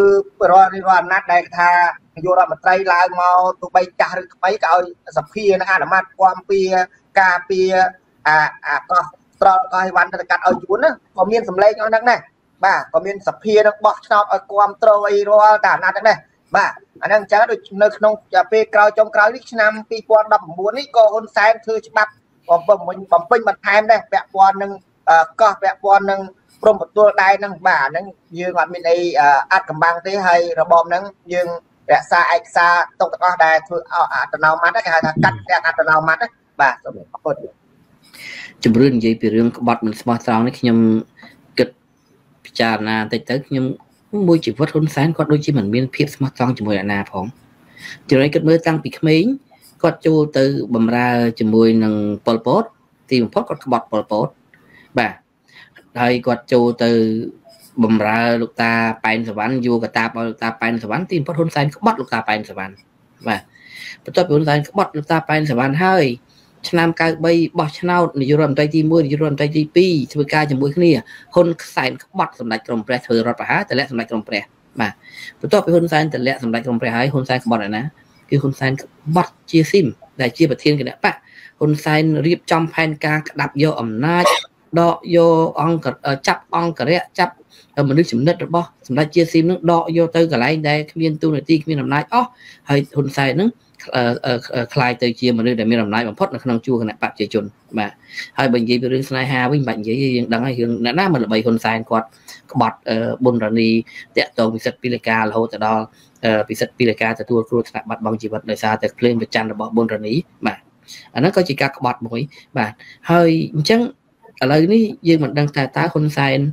ក្បត់អ្នកណាទៀត ហ៊ានក្បត់ចវាយនាយគាត់ឬមួយជាការសម្ដែងប៉ុន្តែដោយសារតែហ៊ុនសែនជាមនុស្សដែលពូកែកុហកពូកែបោកប្រាស់ពេកអញ្ចឹងគ្មានអ្នកណាគេជឿទេគេគិតថាហ៊ុនសែនជាការសម្ដែងបាទគិតថាហ៊ុនសែននៅជាការសម្ដែងបើសិនជាហ៊ុនសែនគាត់ពិតប្រកបមែនគាត់ហ៊ានក្បត់យល់មែនគាត់ធ្វើតាមអ្វីដែលគុណម្ចាស់បានលើកឡើងទៅហ្នឹងហើយគឺអឺដកចេញអាស្អីគេអាកិច្ចអីគេអាព្រំអីគេអាសម្បត្តិសេដ្ឋកិច្ចពិសេសហ្នឹងលុបចោលលុបអាហ្នឹងចេញវិញទាំងអស់ អឺយកមកគ្រប់គ្រងវិញបាទអត់មានអីទេយកដកមកឲ្យខ្មែរគ្រប់គ្រងវិញហើយរៀបចំធ្វើច្បាប់បន្តវេសឲ្យបានល្អជាមួយនឹងប្រទេសយួនបដិញយួនចេញពីទលេសាបកាត់អឺលុបចោលអាកិច្ចព្រមព្រៀង បំពេញបន្ថែមថ្មីហ្នឹងណាលុបអាហ្នឹងចោលលុបអាហ្នឹងអត់អាហ្នឹងយើងជឿថាហ៊ុនសែនពិតជាក្លាហានពិតជាហ៊ានឆ្លោះមែនអាហ្នឹងមិនមែនគាត់សម្ដែងទេតែបើគាត់មិនធ្វើរឿងទាំងអស់ហ្នឹងទេគាត់សម្ដែងគាត់នៅតែបោកប្រាស់យើងមិនអាចជឿទុកចិត្តគាត់បានថាប្រេកជីកហ្នឹងគឺជាអឺប្រេកជីកដែលទទួលបានផលល្អសម្រាប់អនាគតប្រទេសជាតិប្រជាប្រដ្ឋខ្មែរទេបាទអឺរឿងតំបន់សេដ្ឋកិច្ចពិសេសហ្នឹងទាំង4ខេត្តហ្នឹងខ្ញុំបានអានកសែតរបស់យួនវៀតណាម Express ហ្នឹង គេបាននិយាយថាក្នុងមួយឆ្នាំឆ្នាំគេទទួលផលចំណេញជាង3000លានដុល្លារហើយមានអ្នកវិនិយោគទុនជិត200ក្រុមហ៊ុនវិនិយោគទុនទាំងទាំង3ខេត្តហ្នឹងទាំង3ទាំង4ខេត្តហ្នឹងចង់និយាយចំតំបន់ត្រីកោណហ្នឹងវាចង់និយាយថាខេត្តទាំង12ហ្នឹងខេត្តទាំង12អឺរវាងកម្ពុជាយើងមាន4ខេត្តលាវមាន4ខេត្តហើយយួនមាន5ខេត្តបាទ ខេត្តទាំងពីរហ្នឹងដែលចំណេញទាំងអស់ហ្នឹងចូលទៅចូលទៅសុកយួនបាទវាមួយឆ្នាំឆ្នាំខ្ទង់ជាង3000លានដុល្លារអាហ្នឹងអាហ្នឹងអាខេត្តតំបន់សេដ្ឋកិច្ចពិសេសដែលហ៊ុនសែនចុះអត្ថលេខាឲ្យយួនគ្រប់គ្រងហ្នឹងបាទអញ្ចឹងបានថាអ្វីដែលខ្មែរយើងសម័យនេះហើយបើថាសម័យមុនទៅយើងបាត់បង់ទឹកដីពីមុនហើយយើងថាវាពិបាកស្រាវជ្រាវរើប៉ុន្តែសម័យនេះហើយយើងនៅដេកភ័យខ្លាចបាត់បង់ដីទៅទៀតបងប្អូនយើងមិនយល់ដល់កន្លែងហ្នឹង ឥឡូវបងប្អូនខ្មែរគ្រប់រូបទាំងអស់ខ្មែរអ្នកជាតិនិយមយើងអ្នកដែលស្រឡាញ់ប្រជាធិបតេយ្យយើងដែលគិតគូរពីផលប្រយោជន៍ប្រទេសជាតិតើបងប្អូនណាមួយដែលមិនដេកភ័យព្រួយបារម្ភខ្លាចខ្មែរបាត់បង់ដីបន្តទៀតអានេះយើងអាចបាត់បានណាហើយបងប្អូនកុំជឿថាមានអាអ្នកខ្លះនិយាយថាសម័យនេះហើយគ្មានអាណាលួចដីបានកុំនិយាយចឹងអាសម័យនេះហើយតែការយកដីប្រទេសមួយគឺកាន់តែនិយាយទៀតបងប្អូនយើងលើកឧទាហរណ៍ថានៅប្រទេសយូក្រែនអាតំបន់គ្រីមៀនឹងមិនចឹងគ្រីមមិនទៅ សូវៀតដោយដោយស្វ័យប្រវត្តិដោយដោយអត់មាននរណាតបានហើយជាមួយពួកមហាអំណាចតើអ្នកណាមួយដែលទីតាទាទទួលខុសត្រូវទៅទៀមទាយកទឹកដីឲ្យយើងមកវិញវាអត់មានដោយយូក្រែនឥឡូវយូក្រែនហ្នឹងឥឡូវគេកំពុងបារម្ភណាស់បើសិនជាសហរដ្ឋអាមេរិកខាងអឺរ៉ុបមិនជួយទៀតទេយូក្រែននឹងបាត់បង់ទឹកដីបន្តទៀតណាបាទដោយសារតែឥឡូវសង្គ្រាមវាច្រើនកន្លែងពេកបានទាធ្វើឲ្យសហរដ្ឋអាមេរិកនេះ ទុកនេះផងទុកនោះផងគឺសហរដ្ឋអាមេរិកចង់ចង់ពិបាកដែរសហរដ្ឋអាមេរិកឥឡូវកំពុងតែពិបាកវេទនាដែរបងប្អូនហើយបើសិនជាសហរដ្ឋអាមេរិកវេទនាហើយតើប្រទេសណាមួយដែលហ៊ានចេញមុខមកទៀមទារយុទ្ធធរឲ្យយើងជាប្រទេសក្រីក្រទូចតាចមួយយើងបាត់អស់មកប្រទេសនេះក៏វាមិនខ្វល់ដែរបាទគេអត់ខ្វល់មួយយើងទេអានឹងគេចោតយើងទៀតមកយើងខ្មែរជនជាតិខ្មែរមួយឯងសាក់ខ្លួនឯងមិនចាស់កេះការពារទឹកដីខ្លួនឯងឥឡូវឲ្យយើង ឲ្យគេជួយយ៉ាងម៉េចបើយើងមិនជាការពារទឹកដីខ្លួនឯងអញ្ចឹងបានយើងចង់មកពីនេះប្រាប់បងប្អូនជាប្រវត្តិយល់ថាសម័យនេះសម័យប្រជាធិបតេយ្យមុនសម័យសិទ្ធិមនុស្សហ្នឹងណាដែលច្បាប់អង្គការសហប្រជាជាតិគេនិយាយថាប្រជាជនណាទៅរស់នៅលើទឹកដីណាក៏ដោយគេកើតហ្នឹងថាអាហ្នឹងហៅថាជាទឹកដីកំណើតរបស់គេប៉ុន្តែបើសិនជាគេបោះឆ្នោតទទួលស្គាល់ហើយឥឡូវស្ដីខ្មែរយល់សប្ថ្ងៃនេះ ថ្ងៃណាមួយជនជាតិយួនមនុស្សរស់នៅច្រើនជាងខ្មែរនៅនៅដែលនៅពេលដែលគេធ្វើប្រជាមតិគេបោះឆ្នោតប្រជាមតិថាទឹកប្រជាជនជ្រួនគេបោះគេគេបោះគេបោះឆ្នោតទៀមទាទឹកដីខ្មែរនៅខ្លាយជាខេត្តរបស់យួនណាយើងបោះចាញ់គេបាទហើយបងប្អូនអានេះយើងចង់ប្រាប់ចឹងកុំកុំនិយាយថាសម័យនេះហើយអឺមិនមិនបាត់បង់ទឹកដីគេយកសម្លេងទៀតច្រើនបាទសម្លេងទៀតច្រើនព្រោះជនជាតិយួនវាមកកើតលើទឹកដីខ្មែរច្រើនបាទ តែហើយបងវិសាចសម័យនេះគឺវាប្រើវិធីសាស្ត្រហ្នឹងគឺលេបយកទឹកដីដោយមិនបាច់ធ្វើសង្គ្រាមបងវិសាចអានេះហើយស្របច្បាប់អង្គការសហប្រជាជាតិទៀតពីព្រោះយើងក៏មិនអាចទៅបណ្ដេញប្រជាពលរដ្ឋទាំងអស់នឹងចេញបានដែរខុសពីច្បាប់អន្តរជាតិអាហ្នឹងខុសពីច្បាប់សិទ្ធិមនុស្សសិទ្ធិលំនៅឋានអានេះគឺខុសអាហ្នឹងបណ្ដឹងបណ្ដេញបណ្ដេញអត់បានទេណាជំរឿនណាច្បាប់អង្គការសហប្រជាជាតិហ៊ានទៅធ្វើអញ្ចឹងខុសពីច្បាប់អង្គការសហប្រជាជាតិប៉ុន្តែដោយសារតែប្រជាជនគេមករស់នៅលើទឹកដីយើងចំនួនច្រើនលើលោកហើយយើងបោះឆ្នោតទៅយើងអត់ឈ្នះគេអាហ្នឹងអាហ្នឹងរឿងហ្នឹងយើងមើលតំបន់គ្រីមនេះជាឧទាហរណ៍ណាបាទឥឡូវដោយសារយើងនិយាយបញ្ហានេះច្រើនហើយជួនកាលបងប្អូនមិនបានឃើញរូបភាពជួនកាលក៏ថាយើងចោតប្រកាន់លៀបពណ៌ឥឡូវបងប្អូនក្រឡេកទៅមើលនេះគឺជាកុយពិសីដែលបងប្អូនតែជាកុយពិចិត្រកុយពិចិត្រជំរឿន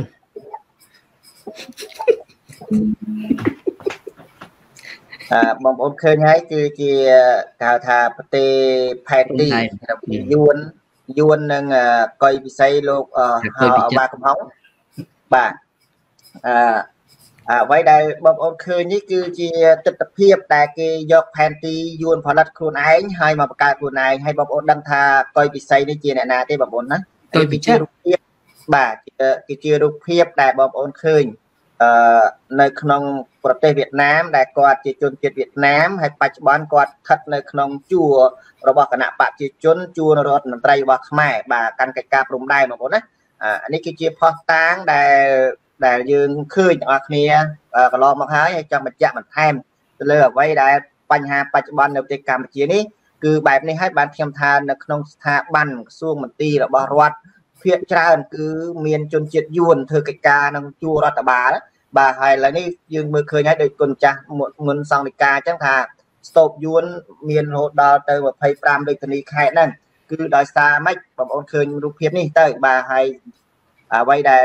កត់សម្គាល់នោះគឺបែបនេះបាទបែបនេះបាទគឺបងប្អូនឃើញហើយផែនទីប្រមាណផ្ទាំងហ្នឹងគឺធ្វើនៅយួនយួនជាប្រទេសដែលជាឈ្លានពានមួយយើងហើយផលិតផែនទីខ្លួនឯងឲ្យខ្លួនឯងខ្មែរយើងអ្នកទទួលស្គាល់បាទទទួលស្គាល់មិនមែនខ្មែរទេណាដល់ មេដឹកនាំរបស់ខ្មែរហ្នឹងគាត់តំណាងឲ្យខ្មែរហ្នឹងគាត់គេហៅថាអត្តមត្តជំនួសឲ្យពលរដ្ឋខ្មែរបាទអត្តមត្តមួយឲ្យពលរដ្ឋខ្មែរដែលយើងមិនឯកភាពមិនព្រមបាទមិនក៏គេនៅធ្វើដែរបងប្អូនដឹងហើយថាបច្ចុប្បន្ននេះគេហ៊ានធ្វើអ្វីៗគ្រប់យ៉ាងដើម្បីយួនបាទដើម្បីយួនអញ្ចឹងឥឡូវគេពីមុនមកគេយកខៃធ្វើជាសត្រូវដៃគូដើម្បីចំណេញនយោបាយឥឡូវនេះគេដឹងថាខ្មែរជាតិនិយមខ្លាំងខ្លាចបាត់បង់ទឹកដីហ៎ អញ្ចឹងគេពិភាក្សាមួយយួនប្រើមជ្ឈបាយគេប្រើមជ្ឈបាយមិនដើម្បីការពារអំណាចធ្វើឆ្លោះជាមួយយួនណាបាទធ្វើឆ្លោះជាមួយយួនធ្វើម៉េចមិនមែនទៅវាយយួនទេបងប្អូនណាទៅជីកព្រំដែនខ្លាចជាព្រំដែនទី2បន្ទាប់ពីព្រៃជីកកាលចំនួនឆ្នាំ80ហ្នឹងហើយបាទហ្នឹងយើងមើលឃើញបែបហ្នឹងបាទកុំឲ្យថាបងប្អូនណាគោស្រឡាញ់ជាតិអីតែឯងមិនមែនទេវាគេហៅថាដើរតាមសេនានយោដើរតាមបន្ទាត់បែបហ្នឹងដដែលហ្នឹងបាទដើរតាមបែបហ្នឹងដដែលទេ បងប្អូនមើលទៅគឺជនរួមជាតិចេះគិតចេះពិចារណាទាំងអស់គ្នាក៏ឲ្យថាគឺយើងចេះតែលៀបពណ៌ចេះតែចោបប្រកាន់ណាហើយមិនបានជួយអីគិតពីថាមិនមែនទេបងប្អូនគឺយើងបានស្រាវជ្រាវបានគិតវែងឆ្ងាយទៅមុខទៀតបាទទៅមុខទៀតបាទហ្នឹងខ្ញុំសូមប៉ុណ្្នឹងចោលដោយសារពេលវេលាក៏ច្រើនដែរហើយបាទសូមអរគុណហ្នឹងហើយខ្ញុំសូមអាន comment ទឹកសភាពសង្គមគាត់ចូលមកគ្រប់គ្រងយើងគាត់សរសេរវិញវិញណាបាទអឺ បើមេដឹកនាំហ៊ុនសែនមេគិតកលំដាប់អន្តរជាតិជាមេអក្រិតជនហើយដាច់ការបែបកុម្មុយនីសទៀតនោះដូច្នេះត្រូវការក្រុមមេអក្រិតជនខ្នាតអន្តរជាតិដើម្បីការពារអំណាចផ្ដាច់ការខ្លួនអញ្ចឹងហើយដើម្បីរក្សាអំណាចបន្តពូជចោលធ្វើឲ្យប្រទេសជាតិរលាយហិនហោចគ្មានសល់អ្វីទាំងអស់បាទតែពិតទឹកសភាសង្គមនឹងគាត់ដូចមានកំណត់មួយទៅក្រហមនឹងខ្លាំងណាស់គាត់សរសេរដាក់ធ្ងន់ធ្ងរណាស់ គ្រប់កាលាចូលម្ដងម្ដងគាត់គាត់សេមកធ្ងន់ធ្ងរបាទបាទដោយសារតែទស្សនវិជ្ជាសង្គមគាត់អាចជាទាហានជើងចាស់បាទគាត់ជាមនុស្សប្រុសគាត់ឆាតគាត់នេះមកខ្ញុំដែរបាទគាត់សរសេរច្រើនសង្គមនេះគាត់គឺជាជនរងគ្រោះពីការប្លន់ដីធ្លីរបស់របបតកូលហ៊ុននឹងម្នាក់បាទអញ្ចឹងយើងដឹងហើយអញ្ចឹងរបបហ៊ុនសែននឹងគឺបង្កការឈឺចាប់បងម៉ៅណារិតបងវ៉ាន់ណារិតម៉ៅហ្នឹងក៏គាត់សរសេរល្អដែរតម្រងនេះបែប ដូចចឹងបាទបាទត្រឹមត្រូវបាទតម្រងខ្មែរបច្ចុប្បន្នហ្នឹងคล้ายទៅជាដូចប្រទេសឡាវហ្នឹងហើយបាទគឺវាអត់មានខុសទេគ្រីស្ណាកាងក៏គាត់និយាយត្រូវដែរគាត់ថានាងកុយវិចិត្រស្រីយួនអតាវ៉ាកំហុងក៏យួនដែរអឺឥឡូវកុំឲ្យយុទ្ធធម៌អានខមមិនបងឡាស្រីគាត់ថាឈ្មោះពិតរបស់គាត់គឺកុយតែចិត្តបាទកុយតែចិត្តបាទកុយកុយអត់ចិត្តអត់កុយអូឡាស្រីឡាស្រីចង់ចាច់គេដែរ ចេញតែចម្ប៉ាចំបៃចេញអាស្រីម៉ៅទៅបានហើយមិនបាច់ចាំទាំងឡាស្រីចង់ចេញគេដែរហើយអកុងរីណូយួនបង្កប់ការស្ថាប័នរដ្ឋធំធំជាន់ខ្ពស់ខ្មែរគ្រប់ក្រសួងបាទបងប្អូនរីណូត្រូវហើយអឺខ្ញុំបានស្ដាប់អ្នកកសែតពីចំនួនមុនណាពីចំនួនឆ្នាំ7980ឥឡូវគាត់បានចាស់ហើយគាត់ជាអ្នក កសែតមុនគេដែលបានទៅសភាពលពតណាគាត់ថាសម័យឆ្នាំ79 80ហ្នឹងគឺយួនអឺតាហ៊ានយួនណាមេតបយួនហ្នឹងវាវាគេហៅថាវាបដូរឈ្មោះបដូរឈ្មោះចេញពីយួនមកឈ្មោះខ្មែរហើយវាកាន់ការធ្វើការនៅគ្រប់ស្ថាប័នរបស់កងកម្លាំងបណ្ដាលរដ្ឋខ្មែរក្នុងជួររដ្ឋាភិបាលរបស់ហ៊ុនសែនរបស់តបហេសព្រិនហ្នឹងនឹងតាំងពីពេលហ្នឹងមកបាទហើយ30 40ឆ្នាំមកនេះ យើងថាយួនកាន់អំណាចហ្នឹងវាខ្លាចជាខ្មែរហើយហើយជនជាតិយួនកូនយួនដែលកើតតាំងពី79 80មករហូតដល់ឆ្នាំ2024ហ្នឹងម្នាក់ម្នាក់អាយុប្រហែលប្រហែលនឹងហ៊ុនម៉ាណែតដែរអាយុប្រហែលគ្នាអញ្ចឹងវាល្មងពេលនឹងកម្លាំងពេញវ័យដែលធ្វើនយោបាយវ័យដែលមនុស្សមនុស្សយើងក៏ពិតនៅសហរដ្ឋអាមេរិកហ្នឹងគេទទួលស្គាល់អ្នកនយោបាយខ្ទង់វ័យ40ឡើងដល់ដល់60ហ្នឹងគឺគឺកំពុងតែវ័យខ្លាំងក្លាវ័យឆ្លាតវ័យ វ័យដែលត្រូវការធ្វើនយោបាយអ្នកអ្នករៀនសូត្រអ្នករៀនសូត្រគេរៀនពីពីក្មេងរហូតដល់30 40ជាពិសេសអ្នករៀនខាង politics នយោបាយហ្នឹងបាទវ័យដូចខ្ញុំហ្នឹងពងខ្លាំងហ្មងបាទហ្នឹងហើយហើយ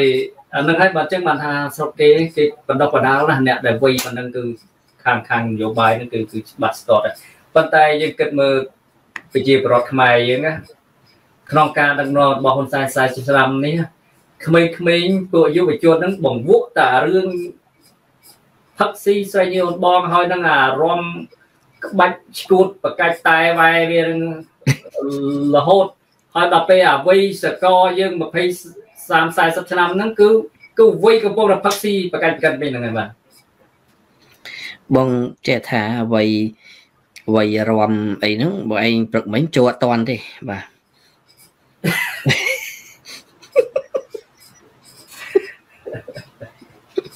បាទបីរបួសហើយចេញហើយនៅចឹងនិយាយរឿងអាចេញចូលហ្នឹងទៀតអីចំប៉ាចំបៃនៅតវ៉ាទៀតនៅតវ៉ាមិនមកចិត្តណាគេប្រាប់គេថាចេញហើយហ្នឹងដល់ពេលគេបួសណាហ្នឹងហើយបួសអីក៏បួសទៅឲ្យចេញក៏បានមិនចេញក៏បានហ្នឹង